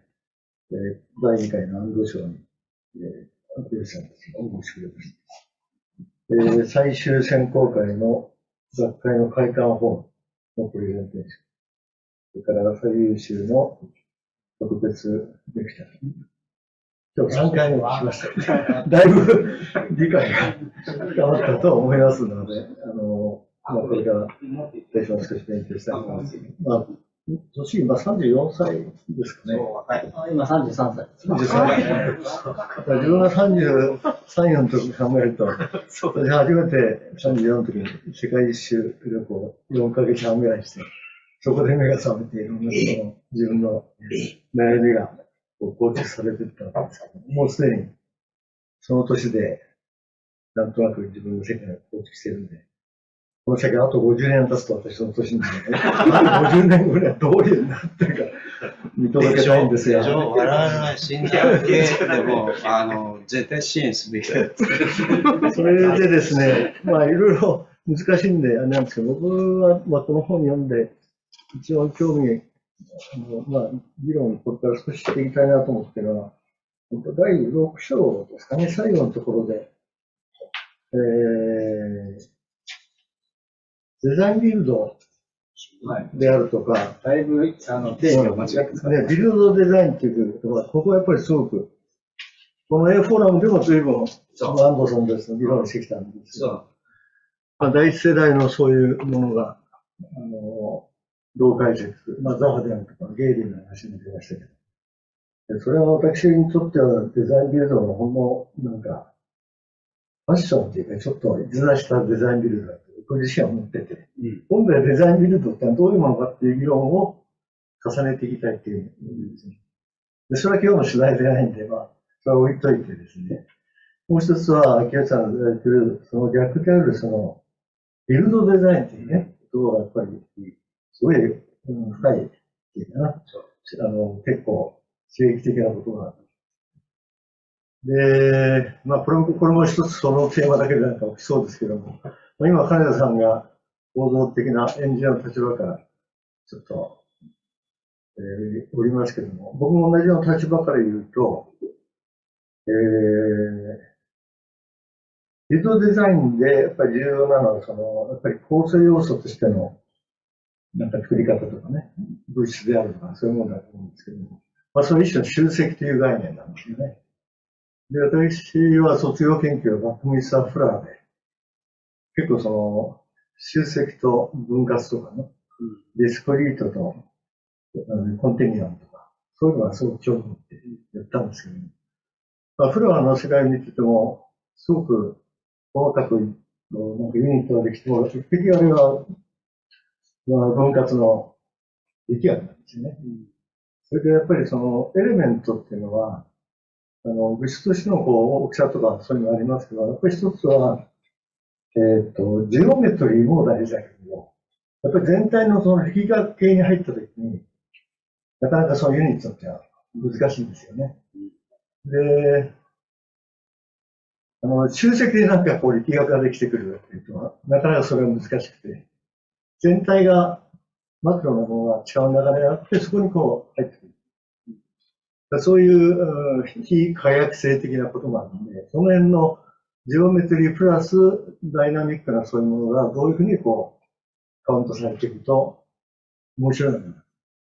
そこは結構面白い面白いって難しいんですよね。そこを少し今後入れていただくと、我々も参加できたり面白いなと。でディスクリート的にこう同型したんで一番象徴的なのは、私の印象では、えー、大阪万博1970年の時の黒川さんの東芝あの時初めてユニットっていうのがあって、まあ、要するにこう、見たことのないようなこう、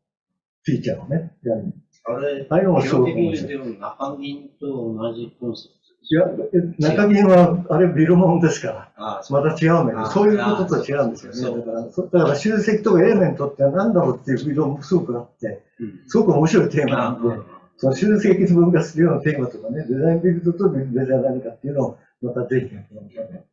やれたら面白いかな。感想も含めて。あの、答えときにですか？ら、もしあれば。はい、ありがとうございました。答えて、締めて。はい。答えがまた。えーと、でもやっぱりそのフラーとかも、